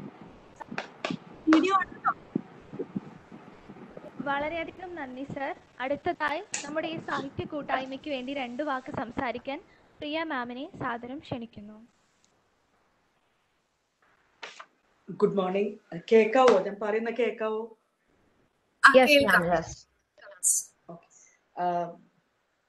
Prashant doctor Francis Deepa and T D Ramakrishnan sir എല്ലാവർക്കും നമസ്കാരം. ഇങ്ങനെ ഒരു അവസരം തന്നതിന് ആദ്യമായി നന്ദി പറഞ്ഞുകൊണ്ട് തുടങ്ങുന്നു. എനിക്ക് തോന്നുന്നത് കോവിഡ് എന്ന പാൻഡമിക്കിൽ നമുക്ക് ഒരുപാട് നഷ്ടങ്ങൾ സംഭവിച്ചിട്ടുണ്ട്. പക്ഷെ അതിന്റെ കൂടെ നമ്മൾ ചില കാര്യങ്ങൾ നേടിയെടുക്കുകയും ചെയ്യുകയാണ്. അല്ലെങ്കിൽ നവംബർ ഒന്ന് ഒരു ഞായറാഴ്ചയാണെങ്കിൽ എനിക്ക് തോന്നുന്നില്ല ഈ ഒരു വെർച്വൽ വേൾഡിലേക്ക് നമ്മൾ പോകാൻ നിർബന്ധിതരായിട്ടില്ലായിരുന്നെങ്കിൽ നമുക്ക് ഇങ്ങനെ ഒത്തുകൂടാൻ സാധിക്കുമെന്നും. കൃത്യം കേരള പിറവിയുടെ അന്ന് തന്നെ നിങ്ങളുടെ ലിറ്റററി ക്ലബിന്റെ ഉദ്ഘാടനം സാറിന് നടത്താൻ പറ്റുമെന്നും എനിക്ക് തോന്നുന്നില്ല. ഒരു നവസാധാരണത്വം എന്ന് പറയുന്ന രീതിയിലേക്ക് നമ്മൾ പോകുമ്പോൾ ഇനി ഒരു തിരിച്ചു പോക്ക് അല്ലെങ്കിൽ കോവിഡിന്റെ പ്രീ കോവിഡ് ഡേയ്സിലേക്ക് വളരെ എന്താ പറയാ ആ ഒരു രീതിയിലേക്ക് നമുക്ക് തിരിച്ചു പോക്ക് സാധ്യമാണെന്നും എനിക്ക് തോന്നുന്നില്ല. അപ്പം ഈ പുതിയ സാധ്യതകളെ ഏറ്റവും കൂടുതൽ പ്രയോജനപ്പെടുത്താൻ നമുക്ക് പറ്റട്ടെ എന്ന് തന്നെയാണ് ആശംസിക്കുന്നത്. നിങ്ങൾ ക്ലബിന് എല്ലാവിധ ഭാവുകങ്ങളും നേരുന്നു. ഞാൻ ടി ഡി രാമകൃഷ്ണൻ സാറിന്റെ ഒരുവിധം എല്ലാ നോവലുകളും തന്നെ തർജമ ചെയ്തിട്ടുണ്ട്. ഒരു നോവലിന്റെ പണിപ്പുരയിലാണ് പുതിയ novel which is be published in episodes അത് ട്രാൻസ്ലേറ്റ് ചെയ്യാൻ ആരംഭിച്ചിട്ടേ ഉള്ളൂ. ഇട്ടിക്കോരയാണ് ഞാൻ ആദ്യം കൈവച്ച നോവൽ. എന്തോ ഒരു ധൈര്യം തോന്നി ഞാൻ സാറിന് ഒരു പ്രപ്പോസൽ അയക്കുമായിരുന്നു ഇത് ചെയ്താൽ കൊള്ളാമെന്നുണ്ട്. സാറിന് സമ്മതമാണോ എന്ന്. ഒരു പരിചയം ഇല്ലാതിരുന്നിട്ട് പോലും അല്ലെങ്കിൽ തർജമയുടെ മേഖലയിൽ എനിക്കന്ന് വലിയ പരിചയവുമില്ല. എന്നിട്ട് പോലും സാറ് ധൈര്യപൂർവം എന്നെ ഏൽപ്പിച്ചു എന്നുള്ളതാണ് പിന്നീട് സുഗന്ധി ട്രാൻസ്ലേറ്റ് ചെയ്തു. സുഗന്ധി ഹാർപ്പർ ആണ് പബ്ലിഷ് ചെയ്യുന്നത്. എനിക്ക് തോന്നുന്നു സാറ് പറഞ്ഞ പോലെ ശ്രീലങ്കൻ പശ്ചാത്തലത്തിൽ എഴുതിയ ഒരു നോവലായിരുന്നു സുഗന്ധി. കേരളം ശ്രീലങ്കയോട് വളരെ അടുത്ത് കിടക്കുന്ന ഒരു നാടാണെങ്കിൽ പോലും നമുക്ക് ശ്രീലങ്കയുമായി വലിയ ബന്ധമില്ല. അതിൽ സാർ തുടങ്ങുന്ന ഈ സ്ഥലം അല്ലെങ്കിൽ കാലം ഇതൊക്കെ തന്നെയും നിരന്തര മാറ്റങ്ങൾക്ക് വിധേയമാകുന്ന ചില സങ്കല്പങ്ങളാണ് അല്ലെങ്കിൽ ചില കാര്യങ്ങളാണ്. അപ്പം ഇതുപോലെ തന്നെ ഇന്ത്യ എന്ന് പറയുന്ന ഒരു നാഷണലിസവും the idea of a nation പോലും നമുക്ക് ഇന്ന് നിരന്തരം ചോദ്യം ചെയ്യപ്പെട്ടുകൊണ്ടിരിക്കുകയാണ്. അപ്പൊ സുഗന്ധിയിൽ തന്നെ അത് സൂചിപ്പിച്ചു പോകുന്നുണ്ട്. പഞ്ചാബിലുള്ള അല്ലെങ്കിൽ നോർത്ത് ഇന്ത്യയിലുള്ള ഹിന്ദി സംസാരിക്കുന്ന ഗോതമ്പ് കൂടുതലായി ഭക്ഷിക്കുന്ന ഒരു ഇന്ത്യക്കാരനേക്കാൾ എന്തുകൊണ്ടും സാംസ്കാരികമായി കേരളീയർക്ക് അടുപ്പമുണ്ടാവുക ശ്രീലങ്കയായിട്ടായിരിക്കും. പക്ഷെ ശ്രീലങ്കയെ നമ്മൾ മറ്റൊരു നാടായിട്ടാണ് ദി അതർ ആയിട്ടാണ് കാണുന്നത്. എന്ന് മാത്രമല്ല നമ്മൾ എന്താ പറയാ റിയലും ഇമാജിനറിയും തമ്മിലുള്ള വ്യത്യാസങ്ങളൊക്കെ മറന്നുകൊണ്ട് രാമായണം ഒരു ഒറിജിനൽ ടെക്സ്റ്റ് ആയിട്ട് കാണുന്ന എടുത്തോളം കാലം Sri Lanka always the other space ആയി ദ ഡിമോണിക് സ്പേസ് ആയിട്ട് മാറുകയാണ്. ശ്രീലങ്കൻ പശ്ചാത്തലത്തിൽ നിന്നുകൊണ്ട് രാമായണം വായിക്കുമ്പോൾ മറ്റൊരു വായന തന്നെയാണ് നമുക്ക് സംഭവിക്കുന്നത്. Is there a disturbance hello hello yes ma'am yes ma'am we hear you yeah okay okay so ഞാൻ പറഞ്ഞത് translate bridges and not walls ഒരു ഇടത്തിൽ ഒതുങ്ങി പോകുന്ന അല്ലെങ്കിൽ ഒരു ഭാഷയിൽ മാത്രം വായിച്ച് ആ ഭാഷയിൽ തന്നെ ഒതുങ്ങി പോകുന്ന പല ഗ്രന്ഥങ്ങളും ഇപ്പൊ മാർക്കേസ് ആയാലും പാമുക്കായാലും ഒരിക്കലും ഞാനോ നിങ്ങളോ വായിക്കില്ലായിരുന്നു ഈ നോവലുകൾ. ഒരു തർജമ എന്നൊരു സാധ്യത ഇല്ലായിരുന്നെങ്കിൽ. അപ്പൊ പറയാറുണ്ട് twenty percent of the text always it is lost in translation പക്ഷെ എന്നിരുന്നാലും എയ്റ്റി പെർസെന്റ് ഗെയിൻ ചെയ്യപ്പെടുകയാണ്. ഇപ്പൊ സുഗന്ധി ഇംഗ്ലീഷിലേക്ക് ട്രാൻസ്ലേറ്റ് ചെയ്തപ്പോൾ പേഴ്സണലായിട്ട് എന്റെ അനുഭവം എന്താന്ന് പറഞ്ഞാൽ ഏറ്റവും അധികം കത്തുകൾ വരുന്നതും ഈവൻ ഫോൺ കോൾസ് വരുന്നതും ശ്രീലങ്കയിൽ നിന്നാണ്. എങ്ങനെയാണ് നിങ്ങളുടെ നാട്ടിലൊരാൾക്ക് നമ്മുടെ റിയാലിറ്റി ഇത്ര ക്ലിയർ ആയിട്ട് മനസ്സിലാവുന്നത് ചോദിക്കുകയാണ്. അതുപോലെ സുഗന്ധിയിൽ ചില പ്രഡിക്ഷൻസ് നടക്കുന്നുണ്ട്. അതായത് ഇതുപോലെയുള്ള ഭരണം വരും ശ്രീലങ്കയിലേക്ക് വീണ്ടും എന്ന്. അതുപോലെ തന്നെ ശ്രീലങ്ക വീണ്ടും ഒരു വളരെ പവർഫുൾ നാഷണലിസ്റ്റിക് ഫേവറിലേക്ക് തിരിച്ചു പോകുന്ന കാഴ്ചയാണ് നാം കാണുന്നത്. പിന്നീട് ആൽഫ ട്രാൻസ്ലേറ്റ് ചെയ്തു. അപ്പം ആൽഫ ഐ അടുത്ത കൊല്ലം അത് പബ്ലിഷ് ചെയ്യും. ആൽഫയുടെ ഒരു രീതി അവർ സംസ്കാരവും ഭാഷയും ഉപേക്ഷിച്ചുകൊണ്ട് ഒരു ദ്വീപിലേക്ക് കുടിയേറി പാർക്കുകയാണ്. അപ്പം അത് അത്യാവശ്യം എളുപ്പത്തിൽ ട്രാൻസ്ലേറ്റ് ചെയ്യാൻ പറ്റി എന്നുള്ളതാണ്. കാരണം ഭാഷ അവിടെ ഒരു പ്രശ്നമല്ല. ഭാഷ ഇല്ലാത്തൊരു ലോകത്തിനെ കുറിച്ച് നമുക്ക് ഏത് ഭാഷയിൽ വേണമെങ്കിൽ സംസാരിക്കാം.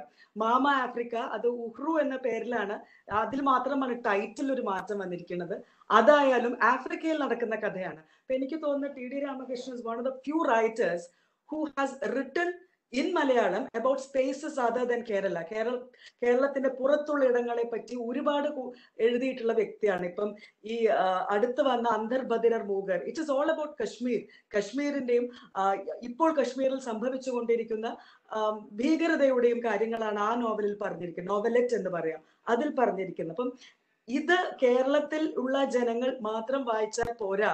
ഇത് കേരളത്തിന്റെ പുറത്തും ആൾക്കാർ അറിയണം എന്നുള്ളൊരു തോന്നലിൽ നിന്നാണ് ഈ റിലേഷൻസ് ഞാൻ ചെയ്യാൻ ധൈര്യപ്പെട്ടതും ചെയ്തു തുടങ്ങിയതും.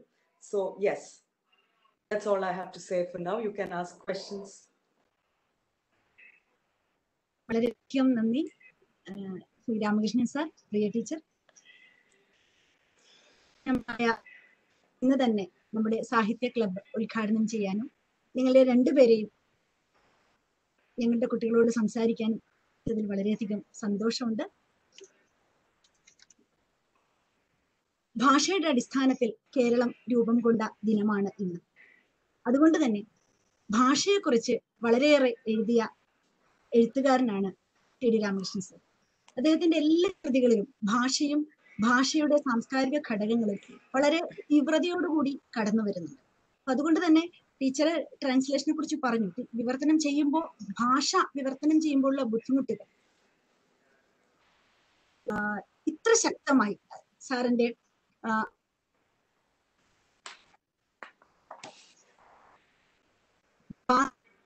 അപ്പൊ അതുകൊണ്ട് തന്നെ ഭാഷയെ കുറിച്ച് സാറ് ഞങ്ങളോട് രണ്ട് വാക്ക് സംസാരിക്കാമോ സർ സംസ്കാരത്തിന്റെയും വൈജ്ഞാനികമായ അറിവിന്റെയും ഒക്കെ ഒരു സഞ്ചിതാവസ്ഥ. ഭാഷ ആണ് മനുഷ്യന്റെ സംസ്കാരത്തിന്റെയും വിജ്ഞാനത്തിന്റെയും ഒക്കെ ഒരു സഞ്ചിത കേന്ദ്രമായിട്ട് എല്ലാ കാലത്തും പ്രവർത്തിക്കും. ഈ ഭാഷ ആയിരമോ പതിനായിരമോ ലക്ഷമോ ഒക്കെ തരത്തിലുള്ള ഭാഷകൾ ലോകത്തിന്റെ പല ഭാഗത്തായിട്ട് മനുഷ്യർ ഉപയോഗിക്കും. ഇത് പല തരത്തിൽ പല രീതി ഇപ്പൊ ഒരു ഇപ്പൊ നമ്മൾ മലയാളം എന്ന് പറയുന്ന ഒരു ഭാഷയാണെന്ന് ഒരു ഭാഷയല്ല മലയാളം തന്നെ എത്രയോ വ്യത്യസ്തമായ മലയാളങ്ങളാണ് ഉപയോഗിക്കുന്നത്. ഇപ്പൊ തമിഴാണെങ്കിലും അപ്പൊ മനുഷ്യന്റെ ജീവിതവും സംസ്കാരവുമായിട്ട് നേരിട്ട് ബന്ധപ്പെടുന്നതും നിരന്തരം നവീകരിക്കുന്നതുമാണ് ഭാഷ ഒരു കണ്ടിന്യൂസ് ആയിട്ടൊരു പ്രോസസ് ഓഫ് റീജമിനേഷൻ ഭാഷയിൽ നടക്കും ഈ ഇതിന്റെ ഒപ്പം എത്താനുള്ള അല്ലെങ്കിൽ അതുമായിട്ട് നമ്മൾ നമ്മുടെ സർഗാത്മകതയെ ബന്ധപ്പെടുത്തിക്കൊണ്ട് മാത്രമേ നമുക്ക് മുന്നോട്ട് പോവാം. ഭാഷ ഉപയോഗിച്ച് നിർവഹിക്കപ്പെടുന്ന കലാപ്രവർത്തനമാണ് എഴുത്തെന്നും സാഹിത്യം എന്ന് പറയുന്ന ഭാഷയാണ് അതിന്റെ ഒരു മാധ്യമം. അപ്പം ആ ഭാഷയുടെ സമസ്ത സാധ്യതകളെയും അതിന്റെ സൂക്ഷ്മതകളെയും ഒക്കെ നമ്മൾ അന്വേഷിച്ച് പോവുക. അതിൽ നിന്ന് പുതിയ തലങ്ങളിലേക്ക് ഇപ്പൊ ഭാഷ നഷ്ടപ്പെടുന്ന സമയത്ത് എന്താണ് ഉണ്ടാകുന്നത്? മനുഷ്യൻ പുതിയ വാക്കുകൾ എങ്ങനെയാ? അപ്പം മലയാളത്തിലൊക്കെ കൂടുതൽ തമിഴിലൊക്കെ നിരന്തരമായി നവീകരിച്ച പുതിയ വാക്കുകൾ വരുന്ന കണ്ട് നമുക്ക് അത്ഭുതം തോന്നാറ് എന്ത് കാര്യത്തിനും അവർ പുതിയ നല്ല വളരെ ഭംഗിയുള്ള വാക്കുകൾ സൃഷ്ടിക്കുന്നു അപ്പം ആ വാക്കുകൾ സൃഷ്ടിക്കുന്നത് ഒരു സംസ്കാരത്തിന്റെ ഒരു ഭാഗമാണ്. അത് തിരിച്ചറിയാനും മനുഷ്യൻ മുന്നോട്ട് പോകുന്ന ഭാഷയിൽ കൂടെയാണ് അത് ഭാഷാശാസ്ത്രമൊക്കെ കൂടുതൽ പഠിക്കുകയും പഠിപ്പിക്കുകയും ഒക്കെ ചെയ്യുന്ന ആളുകളോട് ഞാൻ എന്തെങ്കിലും ആധികാരികമായിട്ട് പറയുന്നത് തന്നെ ശരികേടാണ്. എന്താണെന്ന് വെച്ചാൽ ഞാൻ പല സ്ഥലത്ത് പറഞ്ഞിട്ടില്ല എനിക്ക് ഇതായിട്ടൊന്നും കാര്യമായിട്ടൊരു ബന്ധമുള്ള ആളല്ല. കഥ എഴുതുന്നു എന്ന് മാത്രമേ ഉള്ളൂ. എന്നെ സംബന്ധിച്ചിടത്തോളം ഭാഷ എനിക്ക് പറയാനുള്ള കാര്യങ്ങൾ എന്റെ വായനക്കാരോട് പറയാൻ ഉപയോഗിക്കുന്ന ഒരു മാധ്യമമാണ്. അതിന്റെ പലതരത്തിലുള്ള സാധ്യതകൾ എന്റെ ഒരു സംസ്കാരത്തിലേക്ക് ഇറങ്ങി ചെല്ലാനുള്ള ഏറ്റവും വലിയൊരു ആയുധമായിട്ട് കൂടെ ഭാഷയാണ് ഉപയോഗിക്കുന്നത്. അപ്പൊ ഭാഷയെ ഒരു സാധ്യതയും അതുപോലെ ഒരു ആയുധവും ഒക്കെയായി ഉപയോഗിച്ചുകൊണ്ടാണ് ഒരു കലാകാരൻ ഭാഷ ഉപയോഗിച്ച് തന്റെ കലാപ്രവർത്തനം നടത്തുന്ന ഒരു എളിയ കലാകാരൻ എന്നുള്ള നിലയിൽ ഞാൻ എന്റെ എഴുത്തിൽ മുന്നോട്ട് കൊണ്ടുപോകുന്നു. അതിൽ കൂടുതൽ എനിക്ക് അതിനെക്കുറിച്ചൊന്നും വിശദീകരിക്കാനില്ല. Why write novels rewrite history the history then that then comes true എന്ന ഉംബർട്ടോ എക്കോയുടെ വാചകങ്ങൾ സാറ് ഫ്രാൻസിസ് ടിക്കോരയിൽ പറയുന്നുണ്ടല്ലോ. സാറിന്റെ എഴുത്തുകളെ സംബന്ധിച്ചും ഇത് ശരിയാണ്. കാരണം പലപ്പോഴും വായനയിൽ അനുഭവപ്പെട്ടിട്ടുണ്ട്. സാറ് ചരിത്രം പുനഃസൃഷ്ടിക്കുക എന്ന ശ്രമകരമായ ഒരു ദൗത്യമാണ് തന്റെ രചനകളിൽ കൂടി സാർ ഏറ്റെടുത്തിട്ടുള്ളത് എന്ന്. ആദ്യ നോവലായ ആൽഫ മുതൽക്ക് ഇങ്ങോട്ട് ഇപ്പോൾ എഴുതി വരുന്ന പച്ച മഞ്ഞ ചുവപ്പ് വരെ ഉള്ള എല്ലാ നോവലുകളിലും വളരെ സമർത്ഥമായി സാറ് ചരിത്രത്തെ ഉപയോഗിച്ചിട്ടുണ്ട്. മലയാളത്തിൽ ഈ രീതി ഏറ്റവും ഫലപ്രദമായി പരീക്ഷിച്ചത് സാറാണ് എന്ന് തോന്നുന്നു സുഗന്ധിയെ അടിസ്ഥാനമാക്കി സുഗന്ധി എന്ന ആണ്ടാൾ ദേവനായികയിലെ ചരിത്ര വസ്തുതകളെ കുറിച്ച് ഞങ്ങളോട് രണ്ട് വാക്ക് സംസാരിക്കാമോ സർ സുഗന്ധി എന്ന ആണ്ടാൾ ദേവനായകയിലെ ചരിത്രത്തെ സമീപിക്കുന്നത് ഒരേ സമയം വളരെ ഒരു നിയർ പാസ്റ്റ് എന്ന് പറയാവുന്ന തൊട്ടടുത്ത കാലത്ത് അവസാനിച്ചു പോയ ഒരു ചരിത്രവും ഒരു സഹസ്രാബ്ദം പുറകിലുള്ള ചരിത്രമാണ് ഒരേ സമയം. ആയിരം കൊല്ലം പുറകിലുള്ള ശ്രീലങ്കയുടെ ചരിത്രത്തെ അല്ലെങ്കിൽ തമിഴകത്തിന്റെ ചരിത്രത്തെയും അതേസമയം തന്നെ ഈ നോവൽ എഴുതുന്നതിന്റെ കുറച്ചു കാലം മുമ്പ് അവസാനിച്ച അല്ലെങ്കിൽ രണ്ടായിരത്തി ഒമ്പതിൽ വേലുപ്പിള്ള പ്രഭാകരന്റെ മരണത്തോടു കൂടി അവസാനിച്ച എൽ ടി ടി മൂവ്മെന്റുമായി ബന്ധപ്പെട്ട ചരിത്രവും അപ്പൊ ഈ രണ്ട് അടരുകളെയാണ് സുഗന്ധിയിൽ അഭിസംബോധന ചെയ്യുന്നത്. അപ്പോ ഈ സുഗന്ധി എഴുതാൻ തീരുമാനിക്കുന്ന സമയത്ത് ശ്രീലങ്കയിൽ നടന്ന ഈ വംശഹത്യയെ ഒരു ഡോക്യുമെന്റ് ചെയ്യുക അല്ലെങ്കിൽ അതിനെ എഴുത്തിന്റെ ഒരു സാധ്യതയാക്കി കൊണ്ടുവരിക എന്നുള്ള ഉദ്ദേശമായിരുന്നു.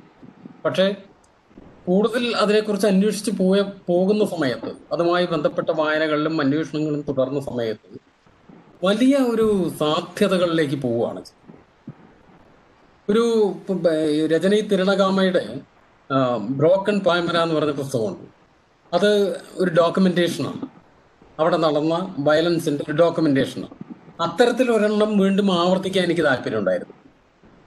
സുഗന്ധിയിൽ ഇപ്പൊ ശ്രീലങ്കയിൽ നടന്ന വയലൻസിനെ അതുപോലെ റെക്കോർഡ് ചെയ്യുന്ന ഒരു ഡോക്യുമെന്റ് ടൈപ്പ് റൈറ്റിംഗ് ആണെങ്കിൽ അത് അത്ര കണ്ട ആളുകളിലേക്ക് എത്തൂല അതിൽ പറയാൻ ഒരു കഥ നമുക്ക് ആവശ്യം നോവലിൽ കഥയുടെ പുറത്താണ് ബാക്കി രാഷ്ട്രീയവും അല്ലെങ്കിൽ മറ്റ് അതുമായിട്ട് ബന്ധപ്പെടുന്ന കാര്യങ്ങളെല്ലാം ചരിത്രമൊക്കെ വരുന്നത്.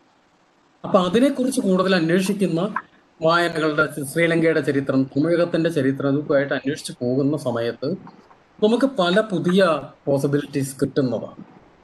അതിന് ചരിത്രം റെക്കോർഡ് ചെയ്യുക എന്നുള്ള തരത്തിലല്ല. ഞാൻ പല ഇന്റർവ്യൂവിൽ പറഞ്ഞിട്ടുള്ള കാര്യമാണ്. ഇപ്പൊ ചരിത്രത്തിന്റെ ആധികാരികമായ ഒരു റെക്കോർഡ് എന്നുള്ള നിലയ്ക്കല്ല പുസ്തകത്തിനെ ചെയ്യാം ചരിത്രത്തിനെ കഥ പറയാനുള്ള വലിയൊരു സാധ്യതയായിട്ട് ഉപയോഗപ്പെടുത്തുക എന്നുള്ള തരത്തിലാണ് ഉപയോഗിച്ചത്. അപ്പം എക്കോ പറഞ്ഞതിന്റെ മറ്റൊരു തരത്തിൽ അത് മനസ്സിലാക്കുകയാണെങ്കിൽ സാഹിത്യം എന്നുള്ള കലാരൂപം നമ്മൾ സൃഷ്ടിച്ചെടുക്കാൻ വേണ്ടി ഉപയോഗിക്കുന്ന പല സാധ്യതകളിൽ ഒന്ന് തീർച്ചയായിട്ടും ചരിത്രം. ശാസ്ത്രവും യുക്തി ചിന്തയും ഫിലോസഫിയും എല്ലാ കാര്യങ്ങളും കഥ സാധ്യതകളായിട്ട് വരുന്നുണ്ട്. അത് തന്നെയാണ് ഇവിടെ ഉപയോഗിക്കുന്നത്. പക്ഷെ ചരിത്രത്തിൽ ഒരു പ്രത്യേകതയുള്ള എന്താണെന്ന് വെച്ചാൽ പൂരിപ്പിക്കപ്പെടാത്ത ഒരുപാട് സ്ഥലങ്ങൾ കിടക്കുകയാണ് ചരിത്രം കൃത്യമായിട്ട് റെക്കോർഡ് ചെയ്യപ്പെട്ട് സൂക്ഷിക്കപ്പെട്ടിട്ടില്ല. ഊഹങ്ങളിലാണ് പലപ്പോഴും കിടക്കുന്നത്. അപ്പോ എഴുത്തുകാരന്റെ ഇമാജിനേഷന് അല്ലെങ്കിൽ വായനക്കാരന്റെ ഇമാജിനേഷന് വലിയൊരു സാധ്യത ഈ ചരിത്രത്തിന്റെ അടരുകളിലുണ്ട്. പലപ്പോഴും റെക്കോർഡ് ചെയ്ത് സൂക്ഷിക്കപ്പെട്ടിട്ടുള്ള ചരിത്രം അധികാരത്തിന്റെ താല്പര്യങ്ങൾക്ക് അനുസരിച്ചിട്ടുള്ള ചരിത്രമാണ്. അത് മുൻ റിയൽ ആയിട്ടുള്ള ചരിത്രം എന്ന് പറയാൻ വയ്യ. അപ്പോൾ ഇട്ടിക്കൊരയിൽ അതിനെക്കുറിച്ച് വലിയൊരു ഡിസ്കഷൻ തന്നെ ഉണ്ട്. അത്തരം ചരിത്രങ്ങളെ കുറിച്ച് ആരാ ആരുടെ താല്പര്യം അനുസരിച്ച് സൃഷ്ടിക്കപ്പെട്ട ചരിത്രമാണ്. അപ്പൊ ഒരു കൗണ്ടർ ഹിസ്റ്ററിയുടെ ഒരു സാധ്യത കൂടി നോവലിൽ ഉപയോഗിക്കുന്നുണ്ട്.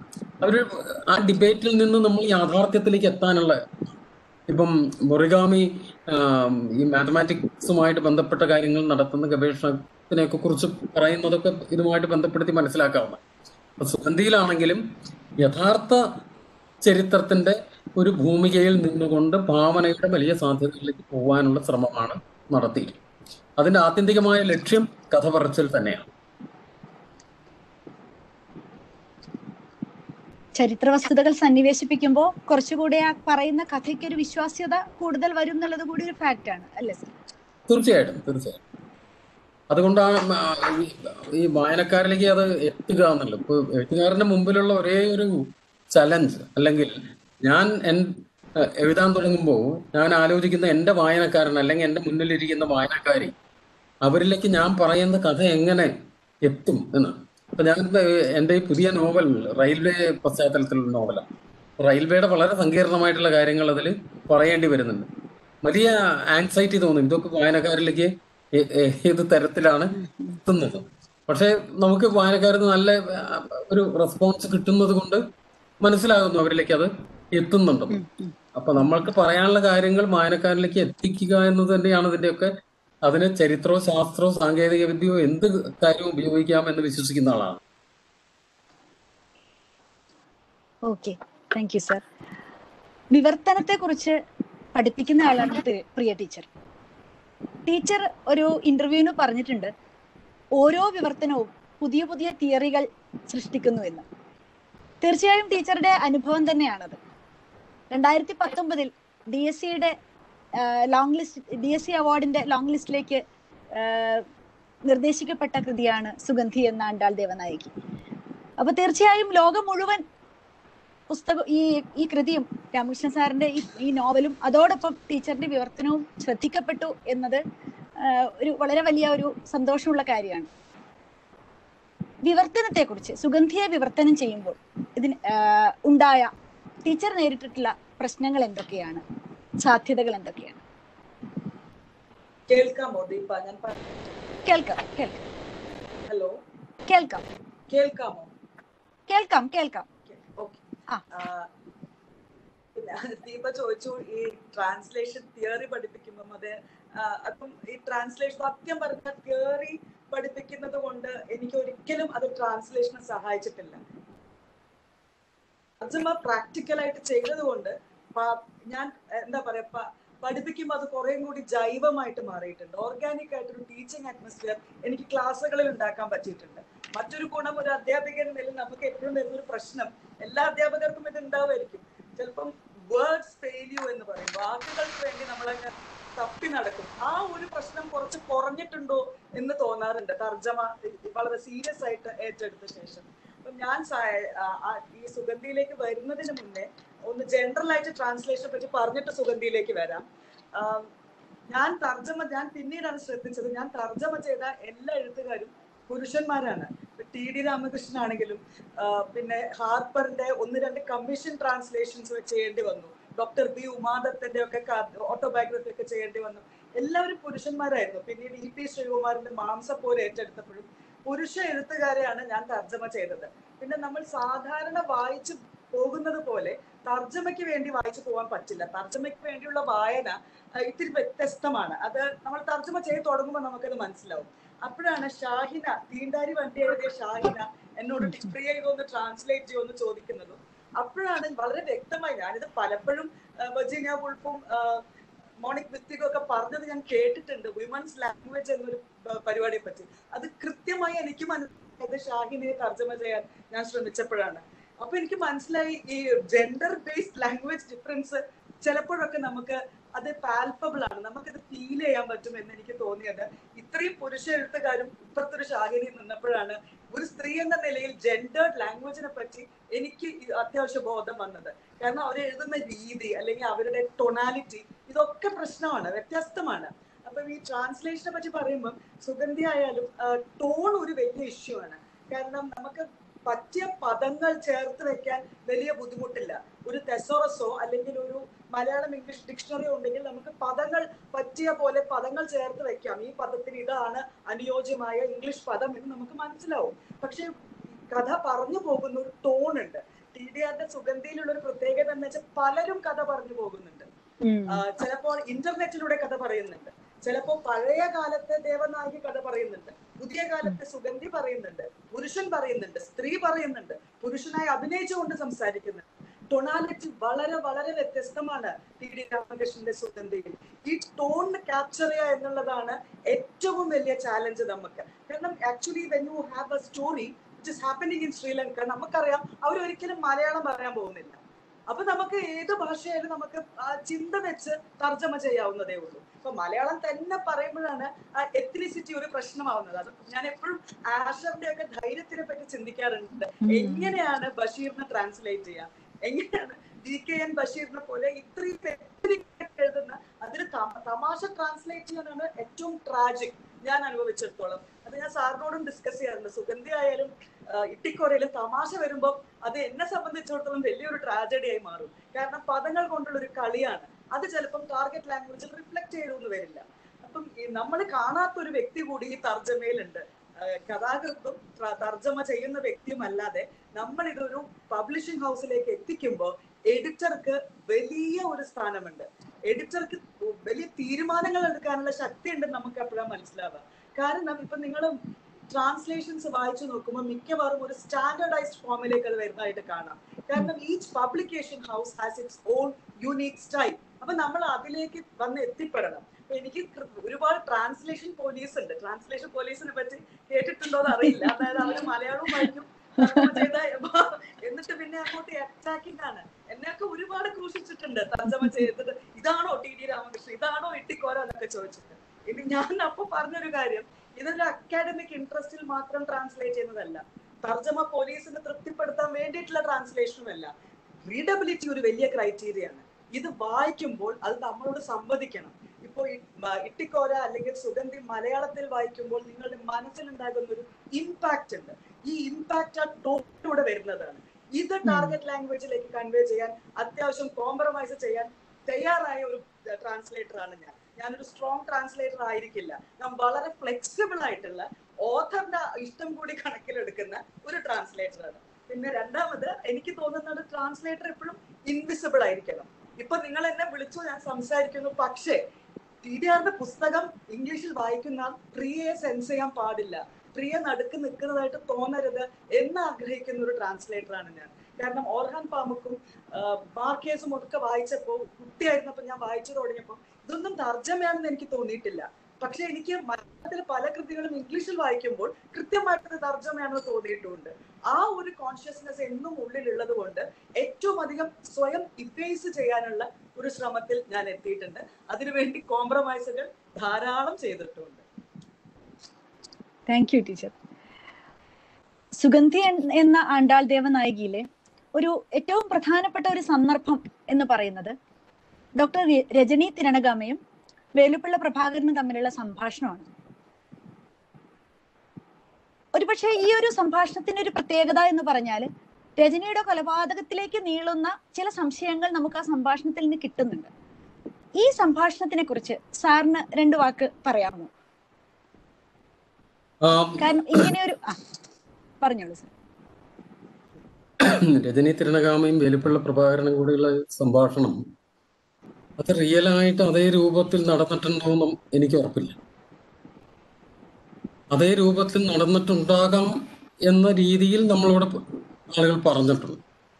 നമ്മൾ ആ നോവൽ എഴുതാൻ വേണ്ടിയുള്ള അന്വേഷണങ്ങളുടെയും അങ്ങനത്തെ ഒരു കാലത്ത് പല ആളുകളായിട്ട് കണ്ട് സംസാരിക്കുന്ന കാലത്ത് നമ്മൾക്ക് കിട്ടുന്ന ഒരു ഇൻഫർമേഷനാണ് അതിനെ ആ സംഭാഷണത്തിന്റെ രൂപത്തിലേക്ക് നമ്മൾ ആക്കുന്നു എന്ന് മാത്രം യഥാർത്ഥത്തിൽ അവർ രണ്ടുപേരും സംസാരിച്ചിരുന്ന അതേ വാചകങ്ങൾ തന്നെയാണോ എന്ന് നമുക്ക് പറയാൻ പറ്റില്ല.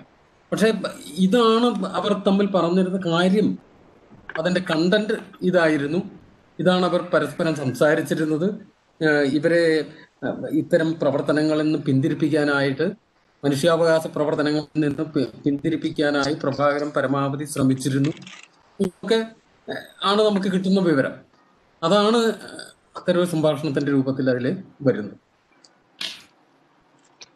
ഇതേ സംഭാഷണം തന്നെ ടീച്ചർ പരിഭാഷപ്പെടുത്തിയപ്പോ ഞാൻ ശ്രദ്ധിച്ചൊരു കാര്യം ഒരു വാചകം ടീച്ചർ ഒഴിവാക്കിയിട്ടുണ്ട്. ഇവരുടെ സംഭാഷണം തുടങ്ങുന്നത് തന്നെ രജനി പറയുന്നുണ്ട് സ്നേഹോഷ്മളമായ അത്തരം രഹസ്യ സംഭാഷണങ്ങളുടെ കാലമൊക്കെ കഴിഞ്ഞില്ലേ? എന്നൊരു വാചകം മലയാളത്തിൽ നോവലിലുണ്ട്. പക്ഷെ ഇംഗ്ലീഷ് നോവലിൽ അതില്ല. അപ്പൊ മനഃപൂർവമാണോ? സൂക്ഷ്മമായി വായിച്ച ഒരാൾക്കേ അത് മനസ്സിലാവുള്ളൂ. മനഃപൂർവമല്ല എഡിറ്റർ പറഞ്ഞു. എഡിറ്റർ മനഃപൂർവമൊന്നും അല്ല ഇപ്പൊ പറഞ്ഞു. എനിക്ക് തോന്നുന്ന വളരെ സി ഹാപ്പർ പെൻഗ്വിൻ പോലെയുള്ള പബ്ലിഷിംഗ് ഹൗസസ് ഒരുപാട് കാര്യങ്ങൾ കൺസിഡറേഷനിൽ എടുത്തുകൊണ്ടാണ് ഒരു പുസ്തകം അക്സെപ്റ്റ് ചെയ്യുന്നത്.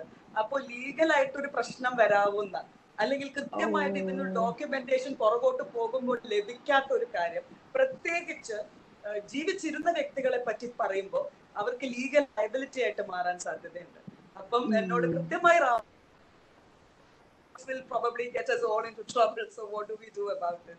So yeah, what do we do? we just leave it out. And that is what is lost in translation. സത്യം കാരണം ഒറിജിനൽ നോവൽ വായിച്ചപ്പോ അവർ തമ്മിൽ ഒരു റിലേഷൻ ഉണ്ട് എന്ന് നമ്മളുടെ ഒരു ബലമായ സംശയം തോന്നിയിരുന്നു പക്ഷെ അത് റിമൂവ് ചെയ്തിട്ടാണ് ട്രാൻസ്ലേഷനിൽ വന്നത്.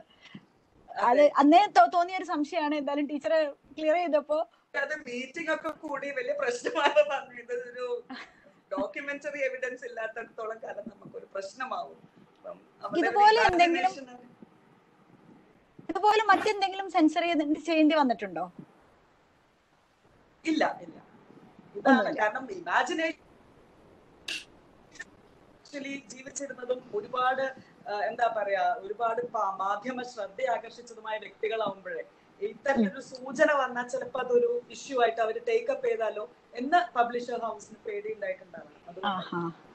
അത് കാണാതിരുന്നപ്പോ സ്വാഭാവികമായും ഞാൻ കരുതിയിരുന്നു രജനി തിരണകാമിയുടെ കൊലപാതകിയായ ബോസ്കോയെ കുറിച്ചുള്ള പരാമർശം കൂടി ഇംഗ്ലീഷ് ട്രാൻസ്ലേഷനിൽ ഒഴിവാക്കിയേക്കാം ഒഴിവാക്കിയേക്കും. ഞാൻ രണ്ടും കൂടി വെച്ചിട്ടാണ് വായിച്ചത്. അപ്പൊ അതൊക്കെ വളരെ കൃത്യമായിട്ട് അതുപോലെ തന്നെ കൊടുത്തിട്ടുണ്ട്. ഈ ഒരു ഒന്ന് മാത്രമേ എന്റെ ശ്രദ്ധയിൽ പെട്ടുള്ളൂ അതാ ചോദിച്ചത്. അത്രേ ഉള്ളൂ അത്രേ ഉള്ളൂ. പിന്നെ എന്താ പറയുക പറയാ തമാശകൾ ഇടയ്ക്ക് ഞാനും സാറും ഡിസ്കസ് ചെയ്ത് എന്നാ പ്രിയ അത് വിട്ടുകളഞ്ഞേക്കും സാറ് പറയാം. അല്ലാതെ മുഴച്ചു നിൽക്കും. നമ്മൾ ഇതങ്ങ് എക്സ്പ്ലെയിൻ ചെയ്യാൻ പോയാലേ തമാശ പോകുന്നു മാത്രല്ല അത് വളരെ അരോചകമായിട്ട് ചിലപ്പം മാറും. മറ്റൊരു. തർജം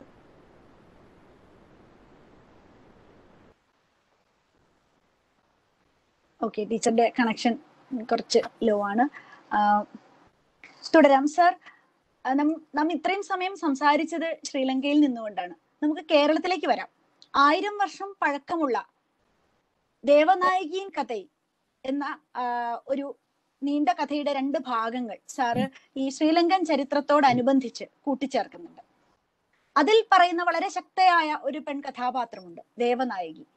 ഇപ്പൊ ദേവനായകി ഈ ഒരു കാലഘട്ടത്തെ സാറ് അവതരിപ്പിച്ചതിൽ ഏറ്റവും പ്രധാനമായിട്ട് തോന്നിയത് ആ കാലത്തെ ഒരു സ്ത്രീ വിരുദ്ധ വിരുദ്ധതയാണ്. അപ്പൊ അതിന്റെ ഒരു മാക്സിമം എന്ന് തോന്നിയത് അരത്താലി എന്ന ഒരു കോൺസെപ്റ്റിനെ കുറിച്ച് വായിച്ചപ്പോഴാണ്. ഈ അരത്താലി എന്നത് ഈ നോവൽ വായിക്കുമ്പോൾ ആദ്യമായിട്ട് കേൾക്കുമായിരുന്നു അപ്പൊ ഇങ്ങനെയൊക്കെ ഉണ്ടാകാമോ? ഇത് സാറിന്റെ ഭാവനയാണ് എന്നാണ് ആദ്യം കരുതിയത്. പിന്നീട് ഇതിനെക്കുറിച്ച് കൂടുതൽ അന്വേഷിച്ചപ്പോഴാണ് ഈ ചാസ്റ്റിറ്റി ബെൽറ്റ് എന്നുള്ള ഒരു ഇതിനെ ഇതിനെക്കുറിച്ച് കേട്ടത്. അതായത് വിൽഡിയോറന്റിന്റെ സ്റ്റോറി ഓഫ് സിവിലൈസേഷനിലൊക്കെ ചാസ്റ്റിറ്റി ബെൽറ്റിനെ കുറിച്ച് പറയുന്നുണ്ട്. അത് പിന്നീടാണ് മനസ്സിലായത്. അപ്പൊ ഈ ഒരു അരത്താലി സങ്കല്പം ഭാരതീയ പാരമ്പര്യത്തിൽ എവിടെയെങ്കിലും ഉണ്ടോ? സാറ് ഇതിവിടെ ഈ നമ്മുടെ കാന്തളൂർ കേരളത്തിലെ ഒരു പ്രദേശമായിട്ടാണല്ലോ സാർ അവതരിപ്പിക്കുന്നത്. കാന്തളൂരിൽ ഒരു രാജകുടുംബത്തിൽ അല അരത്താലി എന്ന കൺസെപ്റ്റ് കൊണ്ടുവരാനുള്ള കാരണം എന്തായിരുന്നു? അത് ഈ ദേവനായകി എന്നുള്ള കഥാപാത്രം ഫിക്ഷനിലാണ്. അത് റിയൽ ആയിട്ടുള്ള കാര്യമായിട്ട് അതിന് ബന്ധം ആ. ആ കാലത്തെ ഒരു ജോഗ്രഫിക്കലായിട്ട് നമ്മ അതിന്റെ ഒരു ഫ്രെയിം എന്ന് പറഞ്ഞാൽ കേരളം ശ്രീലങ്ക മുതലായ പ്രദേശങ്ങൾ മുതൽ കംബോഡിയ വരെ പരന്നു കിടക്കുന്ന ശ്രീവിജയ എന്ന് പറയുന്ന ഇന്തോനേഷ്യൻ പ്രദേശങ്ങൾ അംബൂജം ഇവർ ഈ പ്രദേശങ്ങൾ മൊത്തം ചേർന്ന ഒരു സ്ഥലം. ഇത്തരം ആകാരങ്ങൾ നിലനിന്നിരുന്നതായി ഞാൻ വായിച്ചിരുന്ന സ്ഥലം കമ്പോഡിയയില്ല ജയവർമ്മൻ അഞ്ചാമന്റെ കാലത്തിനെ പറ്റി നോവലിൽ തന്നെ പറയുന്നുണ്ട്. അപ്പൊ അവിടെ അവിടുത്തെ ചില ആചാരങ്ങളെ കുറിച്ച് പറയുന്നതിനെയാണ് നമ്മൾ കണക്ട് ചെയ്ത് പറഞ്ഞത്. പക്ഷെ ദീപക് പറഞ്ഞ പോലെ ഇപ്പം ഇത്തരം ആചാരങ്ങൾ നിലനിന്നിരുന്ന ആഫ്രിക്കൻ സമൂഹങ്ങളെ പറ്റി അതിന്റെ വളരെ ഡീറ്റെയിൽ ആയിട്ടുള്ള കാര്യങ്ങളെല്ലാം അവൈലബിൾ ആണ്.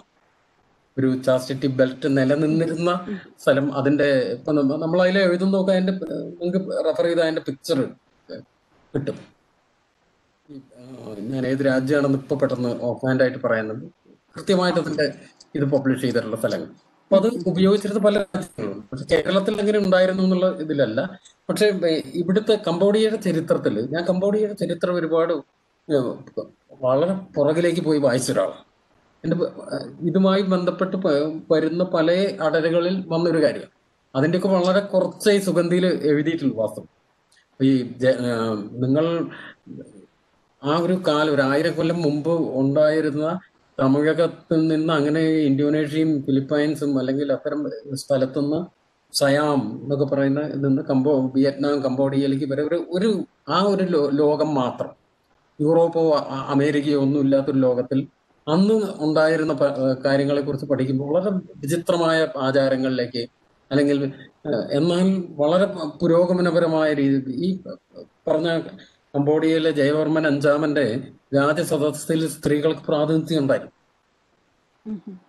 സ്ത്രീകളെ പൂർണമായിട്ട് അടിച്ചമർത്തിയിരുന്ന ആളല്ല. പ്രാതിനിധ്യം കൊടുത്തിരുന്നു. അതേസമയം തന്നെ ആ കൊടുത്ത സ്വാതന്ത്ര്യത്തിന് ഒരു ഈ കുതിരയ്ക്ക് കൊടുക്കുന്ന സ്വാതന്ത്ര്യം പോലെ ആണ്. ഒരു കടിജാൻ കയ്യിൽ വെച്ചുകൊണ്ട് അവർ കൊടുത്തരുത് അപ്പൊ അതിന്റെ ചില പുസ്തകങ്ങളിൽ നിന്നാണ് ഇത്തരം ചില വിവരങ്ങളിലേക്ക് വരുന്നത്. അത് കേരളീയമായിട്ട് അത്തരം കാര്യങ്ങൾ നിലനിന്നിരുന്നോ ഇല്ലയോ നമുക്ക് പറയാൻ നിവൃത്തിയില്ല ഉം, നിലനിൽക്കാനുള്ള സാധ്യതയുണ്ട്. അത് തള്ളിക്കളയാനും പറ്റും. എന്താണെന്ന് വെച്ചാൽ നമുക്ക് കൃത്യമായി രേഖപ്പെടുത്തപ്പെട്ട രേഖ ചരിത്രമില്ല. ചരിത്രം ഇല്ല. ഒരു അഞ്ഞൂറ് കൊല്ലത്തിന് പുറകിലേക്ക് പോയാൽ വളരെ ബുദ്ധിമുട്ടാണ് നമുക്ക് നമ്മുടെ പാരമ്പര്യം എന്താണെന്ന് കൃത്യമായിട്ട് അറിയാൻ വയ്യാത്തൊരവസ്ഥ. അവസ്ഥ ശരിയാ. പിന്നെ സാറിന്റെ കൃതികളിലൊക്കെ തന്നെ വളരെ ശക്തമായിട്ട് കടന്നു വരുന്ന ഒരു കാര്യമാണ് മതം. മതത്തിന്റെ എല്ലാ തരം പ്രത്യേകതകളും മരത്തി മതത്തിന്റെ നല്ലതും ചീത്തയുമായ വിവിധ വശങ്ങളെ കുറിച്ച് സാറിന്റെ കൃതികളിലൊക്കെ തന്നെ വളരെ വ്യക്തമായിട്ടുള്ള അടയാളപ്പെടുത്തലുകളുണ്ട്. ഇപ്പം അന്തർബധിരർ മൂവർ അതുപോലെ തന്നെ എല്ലാത്തിലും ഫ്രാൻസിസ് എറ്റിക്കോറയിലാണെങ്കിലും മാമ ആഫ്രിക്കയിലായാലും എല്ലാത്തിലും വരുന്നുണ്ട്. സുഗന്ധിയിൽ ഒരു പ്രത്യേക രീതിയിലാണ് അത് വരുന്നത്. പ്രത്യേകിച്ച് രണ്ട് മതങ്ങളുടെ പ്രശ്നമാണല്ലോ അവിടെ വരുന്നത്. രണ്ട് വംശങ്ങൾ എന്ന് പറയുമ്പോൾ സിംഹളരും തമിഴരും എന്നുള്ള രണ്ട് പേരിൽ തന്നെ രണ്ട് വംശം രണ്ട് ഭാഷ രണ്ട് മതം. ഇതും ഉണ്ടല്ലോ. അപ്പൊ അതോടൊപ്പം ഈ ബുദ്ധമതം ഔദ്യോഗിക മതമായി അംഗീകരിച്ച ഒരു രാജ്യത്തിലെ അരാജകത്വം ആണ് സാറ് ഈ സുസാന സുപിന എന്ന ശക്തമായ ഇമേജിലൂടെയൊക്കെ പറയാൻ ശ്രമിക്കുന്നത്. ഈ ബുദ്ധം ബുദ്ധന്റെ ആശയം നമുക്കറിയാം. നമ്മൾ ചെറുപ്പത്തിലെ ഹിസ്റ്ററിയിൽ പഠിക്കുന്നതാണ്. ആഗ്രഹങ്ങളാണ് എല്ലാ ദുഃഖങ്ങൾക്കും കാരണം എന്ന ആശയം പ്രചരിപ്പിക്കുന്ന ബുദ്ധ സന്യാസിമാർ കടിഞ്ഞാൻ പിടിക്കുന്ന ഒരു ഗവൺമെന്റ് പ്രത്യേകിച്ച് ആനന്ദ സമരക്കോൺ ദേശീയഗാനം എഴുതിയ ആനന്ദ സമരക്കോൺ പോലുള്ള മനുഷ്യൻ ആത്മഹത്യ ചെയ്യാനിടയായ രാഷ്ട്ര അത്രയും ഭീകരമായ രാഷ്ട്രീയ സാഹചര്യങ്ങൾ നിലനിൽക്കുന്ന ഒരു രാജ്യത്തെ മതം സാറ് ഈ രീതിയിൽ അടയാളപ്പെടുത്തിയത്. അതിനെക്കുറിച്ച് ഒന്ന് വിശദീകരിക്കാമോ സർ? ബുദ്ധമതം ദീപ പറഞ്ഞ പോലെ ആദ്യകാലത്ത് എന്റെയൊക്കെ ഒരു ചെറുപ്പത്തിൽ അതിനെക്കുറിച്ച് വളരെ ഉദാത്തമായ ഏറ്റവും മഹത്തായ തരത്തിൽ തന്നെയാണ് നമ്മൾ കാണുന്നത്. അതിന്റെ അടിസ്ഥാന സങ്കല്പങ്ങൾക്കൊക്കെ മഹത്വമുണ്ട് ഒരു സംശയമില്ല പിന്നീട് കൂടുതൽ നമ്മൾ ഓരോ മതങ്ങളെ പറ്റി പഠിക്കുമ്പോൾ മനസ്സിലാകുന്നത് ഇതിന്റെ ഒറിജിനൽ ആ മതമായിട്ട് ബന്ധപ്പെടുന്ന ടെക്സ്റ്റും പ്രാക്ടീസ് ഒരുപാട് വ്യത്യാസം. നിങ്ങൾ ഏത് മതം എടുത്താലും അതിന് വളരെ വ്യക്തമാണ്. അതിന്റെ വിശുദ്ധ ഗ്രന്ഥങ്ങൾ വളരെ വിശുദ്ധമായിട്ടുള്ള വളരെ നന്മയിലേക്കും കരുണയിലേക്കും സ്നേഹത്തിലേക്കും ഒക്കെ നയിക്കുന്ന കാര്യങ്ങൾ പറയുകയും പ്രവൃത്തി വളരെ ഹിംസാത്മകമാവുകയും ചെയ്യും. ഈ ബുദ്ധമതത്തിന് ഇപ്പം പല ഇപ്പൊ ഹിന്ദുമതത്തിൽ നിന്ന് ഒരു രക്ഷ എന്നുള്ള നിലയ്ക്ക് ബുദ്ധമതത്തിലേക്ക് മാറുന്നതിനെ പറ്റി അംബേദ്കറൊക്കെ പറയും പ്രവർത്തിക്കുകയും ഒക്കെ ചെയ്തിട്ടുള്ള കാര്യമാണ്. അപ്പൊ അതിൽ നിന്നൊക്കെ അത് വലിയൊരു സാധ്യതയാണ് ഈ മതത്തിലെ എല്ലാ ജാതിയുടെയും അനാചാരങ്ങളും രക്ഷപ്പെടാനുള്ള വഴിയാണെന്നൊക്കെ ഞാൻ വിശ്വസിച്ചിരുന്ന ആളാണ്. പക്ഷെ ബുദ്ധമതം പ്രാക്ടീസ് ചെയ്യുന്ന രാജ്യങ്ങളുടെ ചരിത്രവും രാഷ്ട്രീയവും ഒക്കെ കൂടുതൽ നമ്മൾ മനസ്സിലാക്കുമ്പോൾ അവിടെയും മനുഷ്യന് സംഭവിക്കുന്നത് ഈ അവന്റെ ഉള്ളിൽ അന്തർലീനമായ ഹിംസയുടെ ആഘോഷങ്ങൾ അധികാരമാണ് മനുഷ്യനെ ദുഷിപ്പിക്കുന്ന കാര്യം. ഏതൊരു മതത്തിന്റെ പേരിലാണെങ്കിലും അധികാരം ഉണ്ടാകുമ്പോൾ സ്വാഭാവികമായിട്ടും അതിൽ അതിന്റെ വയലൻസ് ഉണ്ടാകുന്നു. അത് അധികാരം നേടാൻ ഉള്ള വയലൻസ് നേടിക്കഴിഞ്ഞ അധികാരം നിലനിർത്താനുള്ള വയലൻസ് ഇങ്ങനെ വയലൻസിന്റെ നിരന്തരമായ പ്രയോഗത്തിന്റെ ഒരു ഘട്ടമായിട്ട് ഇപ്പോ ബർമയിലാണെങ്കിലും അല്ലെങ്കിൽ ഈ ബുദ്ധമതം പ്രാക്ടീസ് ചെയ്യുന്നു എന്ന് അവകാശപ്പെടുന്ന ഈ ഇന്നത്തെ ലോകത്തിലെ മറ്റു രാജ്യങ്ങളുടെ ഒന്നും സ്ഥിതി മെച്ചമല്ല. ബുദ്ധം പറഞ്ഞ വഴിയിലല്ല.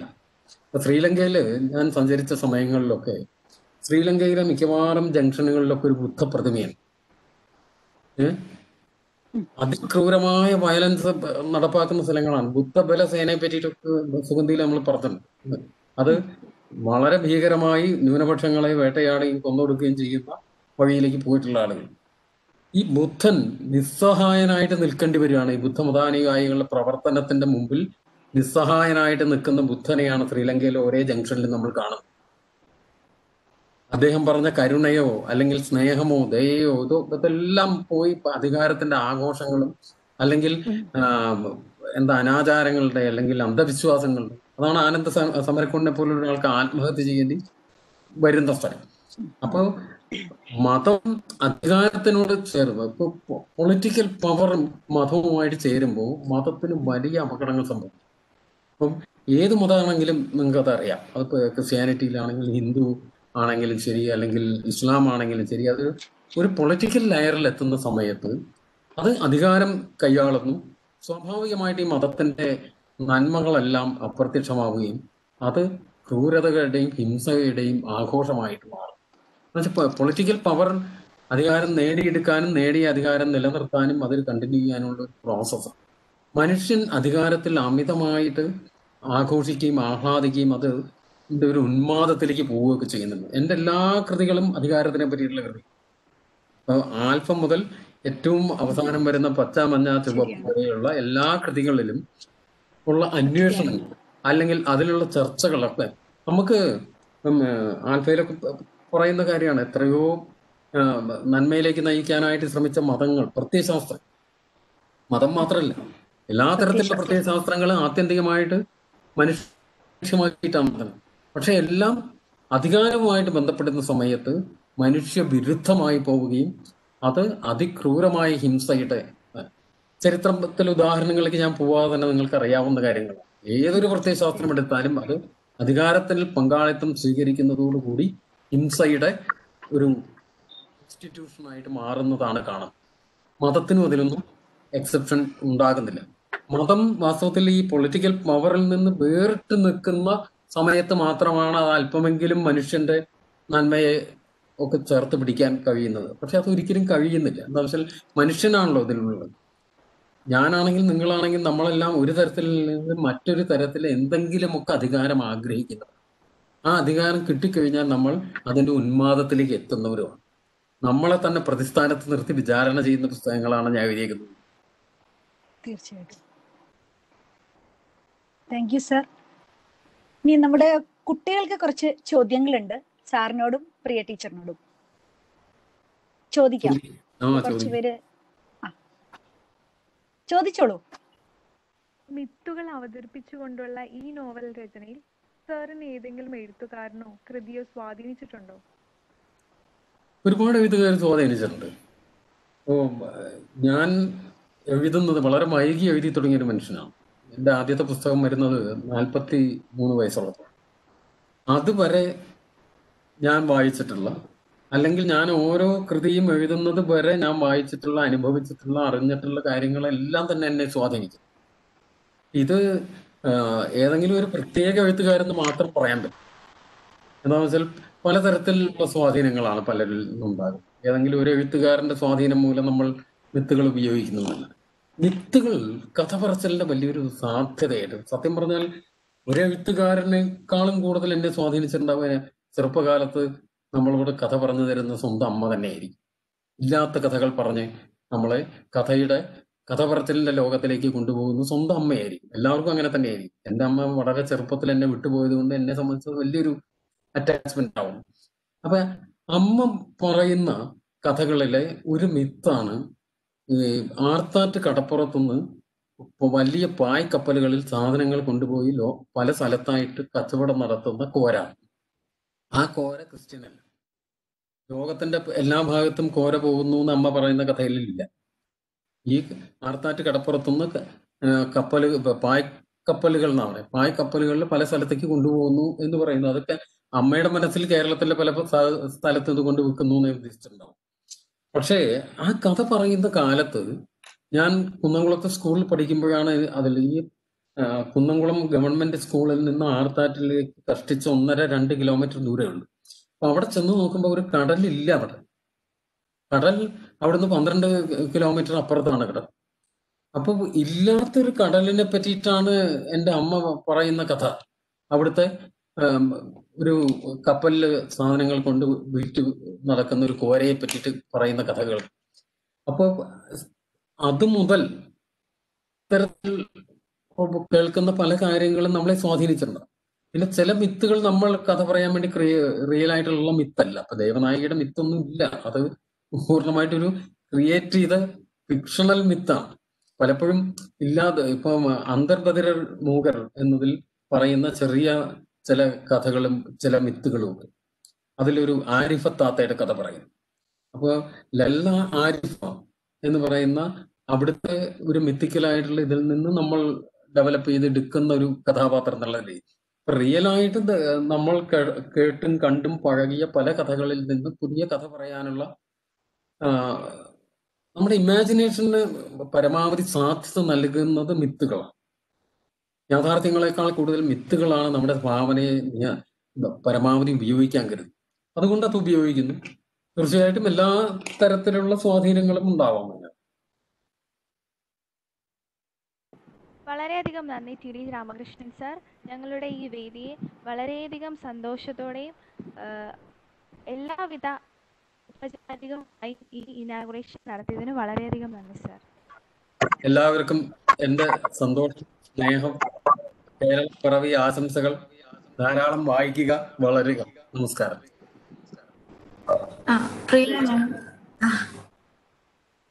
എന്റെ ഇനിഷ്യൽ ക്വസ്റ്റ്യൻ വാസ് ഡിഫിക്കൽട്ടീസ് എന്തെങ്കിലും translation but you but covered that so I was wondering ഈ ട്രാൻസ്ലേഷൻ പ്രോസസ് എന്താ എൻടൈറ്റിൽ ചെയ്യുന്നത് നോർമലി അല്ലെങ്കിൽ മാം എങ്ങനെ ഇൻസ്പയർ ആയ? ഫസ്റ്റ് ആ ഒരു സ്റ്റെപ്പ് എടുക്കാൻ ട്രാൻസ്ലേറ്റ് ചെയ്യണം എന്നുള്ള ഒരു ഡിസിഷൻ എങ്ങനെ എടുത്തേ മാം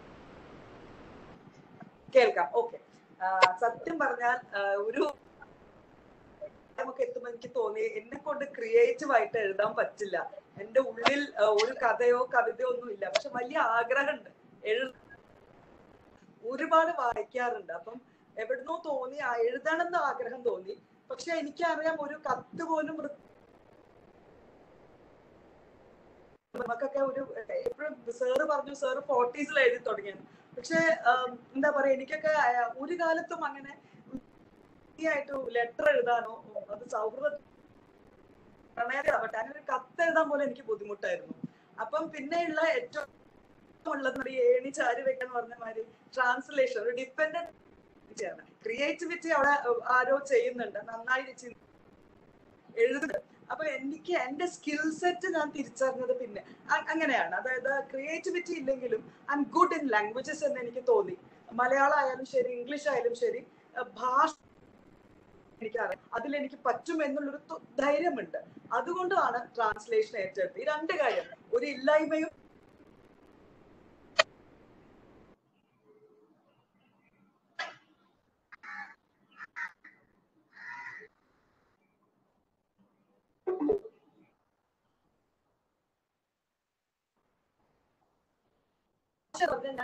പഠിക്കുമ്പോഴാണ് കമലഹാസൻ എന്ന നടന് വേണ്ടിയാണ് ആദ്യമായിട്ട് തർജമ ചെയ്യുന്നത് കാരണം എന്റെ കമലഹാസനായിട്ട് വളരെ അടുപ്പുണ്ട്.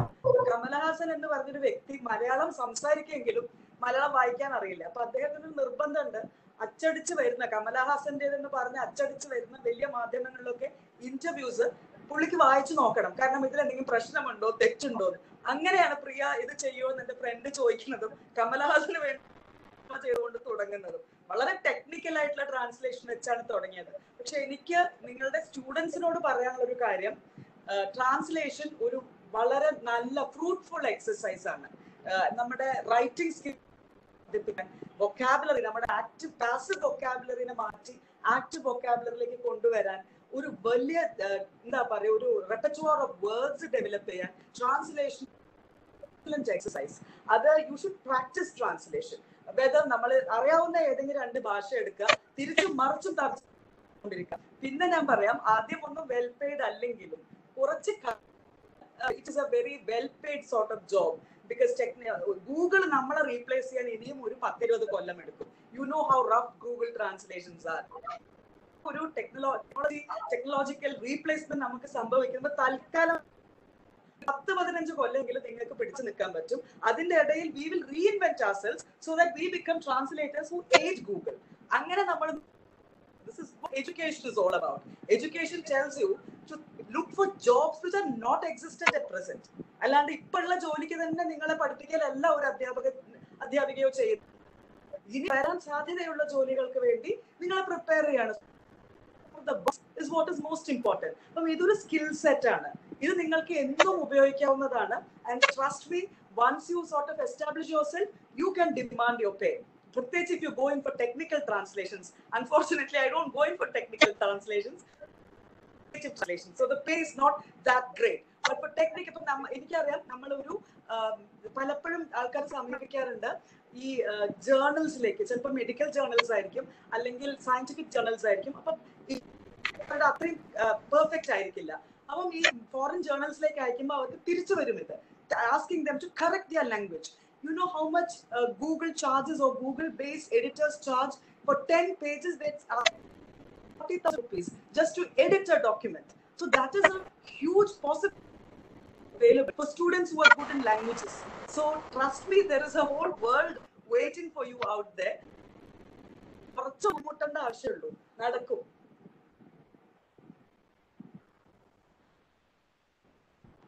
Thank you, ma'am. Yes, Aishwarya, that's my answer. Thank you so much.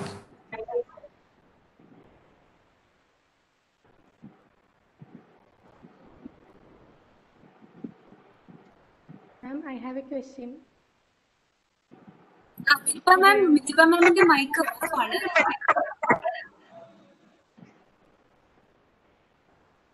Ma'am, I have a question to you. Ah.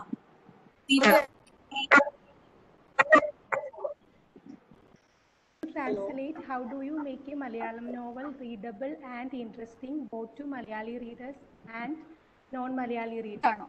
ഒരു മിനിറ്റ്. അതൊരു വല്ലാത്ത ചോദ്യമാണ് എനിക്ക് ഓൺ ചെയ്യാൻ പറ്റുന്നില്ല. റീഡേഴ്സിന് അതായത് നമ്മൾ ഞാൻ ഒരുപാട് വായിക്കും. ഒരുപാട് വായിക്കുന്ന പറഞ്ഞ ഒരു ഒബ്സേഷൻ പോലെ വായിക്കുന്ന ഒരു വ്യക്തിയാണ് ഞാൻ. ഇത് കിട്ടിയാലും അത് മലയാളത്തിലായാലും ഇംഗ്ലീഷിലായാലും ഞാൻ വായിക്കും അപ്പൊ എനിക്ക് തോന്നുന്നു നമുക്ക് അറിയാം ഈ ലാംഗ്വേജ് നമ്മുടെ വായനയെ വല്ലാതെ ബാധിക്കും വളരെ റിട്ടൺ ആയിട്ട് അല്ലെങ്കിൽ വളരെ ആക്കഡമിക് ആയിട്ടൊരു ഭാഷ ഒരു ഒരു റിജിഡ് ആയിട്ടുള്ള ഭാഷ ഉപയോഗിച്ച് കഴിഞ്ഞാൽ ചിലപ്പം ആ, വായനക്കാരിലേക്ക് അത് എത്തിയെന്ന് വരില്ല അപ്പം ideas T D Ramakrishnan ideas ആണെങ്കിലും ഇ പി ശ്രീകുമാർ ഐഡിയാസ് ആണ്. അത് അവിടെ ഉണ്ട്. അത് ചെയ്യിപ്പിക്കാന്നുള്ളത് എന്റെ ദൗത്യം. അത് ഞാൻ എനിക്ക് വായിച്ചാൽ ഇഷ്ടപ്പെടുന്നുണ്ടോ എന്നാണ് ഞാൻ ആദ്യം നോക്കുന്നത്. മറ്റാരെയും ഞാൻ കൺസൾട്ട് ചെയ്യാറില്ല. എല്ലാരും പറയും ട്രാൻസ്ലേഷൻ ഒരു കൊലാബറേറ്റീവ് ആക്ടിവിറ്റി ആണെന്നൊക്കെ. ഞാൻ വളരെ ട്രാൻസ്ലേറ്റ് ഒരു വ്യക്തിയാണ്. ഒട്ടും കൊലാബറേഷനിലേക്ക് പോവാറില്ല. അത്രേ സംശയമുള്ളൂ അത് എന്റെ എന്താണെന്നറിയില്ല. ഞാൻ അങ്ങനെ ചെയ്യാൻ ആഗ്രഹിക്കുന്നു. Okay, ma'am. Any of thank you, that. Yes, ma'am. I heard that. Yeah, good. Thank you teacher അത്രേ ഉള്ളൂ താങ്ക് യു ടീച്ചർ കേൾക്കാമോ ശരി ദീപ കേൾക്കാം കേൾക്കാം കേൾക്കാം ഒരു മിനിറ്റ് കേൾക്കാമോ കേൾക്കാം. വിവർത്തനം എന്ന ശ്രമകരമായ ജോലിയെ വളരെ ആസ്വദിച്ച് ചെയ്യുന്ന പ്രിയ ടീച്ചറുടെ വാക്കുകൾ നമുക്ക് എല്ലാവർക്കും വളരെയധികം പ്രചോദനകരമാണ്. എഴുത്ത് എന്നാൽ കേവലം ഭാവന മാത്രം പോരാ. അതിനപ്പുറത്തുള്ള മറ്റു പലതും ആവശ്യപ്പെടുന്ന ഒന്നാണ് എന്ന് തെളിയിച്ചു കൊണ്ടിരിക്കുന്ന ടി ഡി രാമകൃഷ്ണൻ സാറിന്റെ ഓരോ പുസ്തകവും ടീച്ചർക്ക് പ്രത്യേകം ഒരു പുതിയ പുതിയ അനുഭവങ്ങളായിരിക്കും പകർന്നു തരുന്നത് എന്ന് വിശ്വസിക്കുന്നു. കാരണം വായനയിൽ അത്രയും വെറൈറ്റി ഞങ്ങൾക്ക് ഫീൽ ചെയ്യുന്നതുകൊണ്ടാണ് പറഞ്ഞത്. അപ്പൊ തീർച്ചയായും ഇത്രയും ശ്രമകരമായ ഒരു ജോലി വളരെയധികം അനായാസമായി ഏറ്റെടുത്ത് നടത്തുകയും അതിലൂടെ ഒരു അത് പ്രൂവ് ചെയ്യുകയും ചെയ്യുന്ന ഒരാളെന്ന നിലയിൽ ടീച്ചറോട് വളരെയധികം ബഹുമാനമുണ്ട്. പ്രത്യേകിച്ച് ഞങ്ങളുടെ എപ്പിയോലാട്രി എന്ന ഈ സാഹിത്യവേദിയുടെ ഉദ്ഘാടനവും അതോടനുബന്ധിച്ച് നടന്ന- സാഹിത്യ സംവാദത്തിലും വളരെ സജീവമായി പങ്കെടുത്തതിന് സാഹിത്യവേദിയുടെ നന്ദി അറിയിക്കട്ടെ. എനിക്ക് എസ് എച്ച് കോളേജിൽ നടക്കുന്ന എല്ലാ പരിപാടിയും പേപ്പർ വാല്യുവേഷൻ മുതൽ അങ്ങോട്ട് പാർട്ടിസിപ്പേറ്റ് വലിയ ഇഷ്ടമാണ്. ഫ്രാൻസിസ് സാറിന് അതറിയാം. പേപ്പർ വാല്യൂഷൻ ഉണ്ടെന്ന് കേട്ടാൽ ഓടിച്ചെന്ന് ചെയ്യുന്ന ഒരാളാണ് ഞാൻ. Just to be there in the presence of vibrant people so എനിക്കാണ് നന്ദി.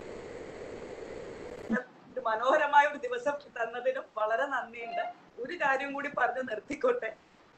ശ്രമകരമായ ജോലി എന്ന് പറയുമ്പോൾ ദീപ എന്നെ സംബന്ധിച്ചിടത്തോളം എനിക്ക് ഏറ്റവും ഇഷ്ടമായതുകൊണ്ടായിരിക്കാം ബുദ്ധിമുട്ടില്ല ആ, അത് ചെയ്യാതിരിക്കുമ്പോൾ വല്ലാത്തൊരു വിഷമം തോന്നാറുണ്ട്. ചെയ്യുമ്പോഴാണ് ഏറ്റവും അധികം സന്തോഷം സത്യമായിട്ടും ഞാൻ അനുഭവിക്കാറുള്ളതും. അത് ഏതൊരു പുസ്തകം എടുത്ത് അത് തർജമ ചെയ്യാൻ പറയുമ്പോൾ അതൊരു ഒരു എക്സ്പീരിയൻസ് ആണ്. ആദ്യത്തെ ആ ഒരു പാരഗ്രാഫ് ഞാനും പുസ്തകം രണ്ട് തട്ടിലാണ് നിൽക്കുക. പിന്നീട് പെട്ടെന്ന് ആ സെന്റൻസ് പോകുന്ന ഒരു ഒഴു മറ്റൊരാളുടെ ചിന്തകളിലേക്ക് ഞാൻ ഇറങ്ങിച്ചെന്ന് അത് എന്റെ ആക്കി മാറ്റുന്നത് ഒരു വല്ലാത്ത അനുഭവമാണ്. വളരെ സന്തോഷം തരുന്ന ഒരു ജോലിയാകും. അപ്പൊ എനിക്ക് അത് തന്നെയാണ് നിങ്ങളോട് പറയാനുള്ളത് സ്റ്റുഡൻസ് ഇഷ്ടത്തോടെ ചെയ്തു നോക്കുക. നമുക്ക് ലിറ്റററി തിയറി ആയാലും ഏറ്റവും ബുദ്ധിമുട്ടെന്ന് തോന്നുന്ന കണക്കായാലും എന്തായാലും അതിനങ്ങ് വല്ലാതെ നമ്മൾ പ്രണയിച്ചു കഴിഞ്ഞാൽ ബുദ്ധിമുട്ട് തോന്നില്ല. പിന്നെ അതില്ലാതെ പറ്റില്ല എന്നൊരു അവസ്ഥയിലേക്ക് നമ്മൾ എത്തും. Thank you so much for your patience listening thank you teacher നമ്മുടെ സാഹിത്യ കൂട്ടായ്മയുടെ ഉദ്ഘാടന കർമ്മം ഭംഗിയായി നന്ദി. രാമകൃഷ്ണൻ. കാലഘട്ടത്തിലെ പരിമിതികളെ ഉൾക്കൊണ്ടുകൊണ്ട് നമ്മുടെ ഈ സാഹിത്യ കൂട്ടായ്മ രൂപീകരിക്കാൻ മുന്നിറങ്ങുകയും അത് പൂർണതയിൽ എത്തുകയും ചെയ്ത ഞങ്ങളുടെ പ്രിയങ്കരരായ ദീപ മാം നസ്ലിൻ മാം ഗായത്രി മാം ഒപ്പം മറ്റ് എല്ലാ അധ്യാപകരെയും ഞാൻ വളരെയധികം നന്ദി രേഖപ്പെടുത്തുന്നു.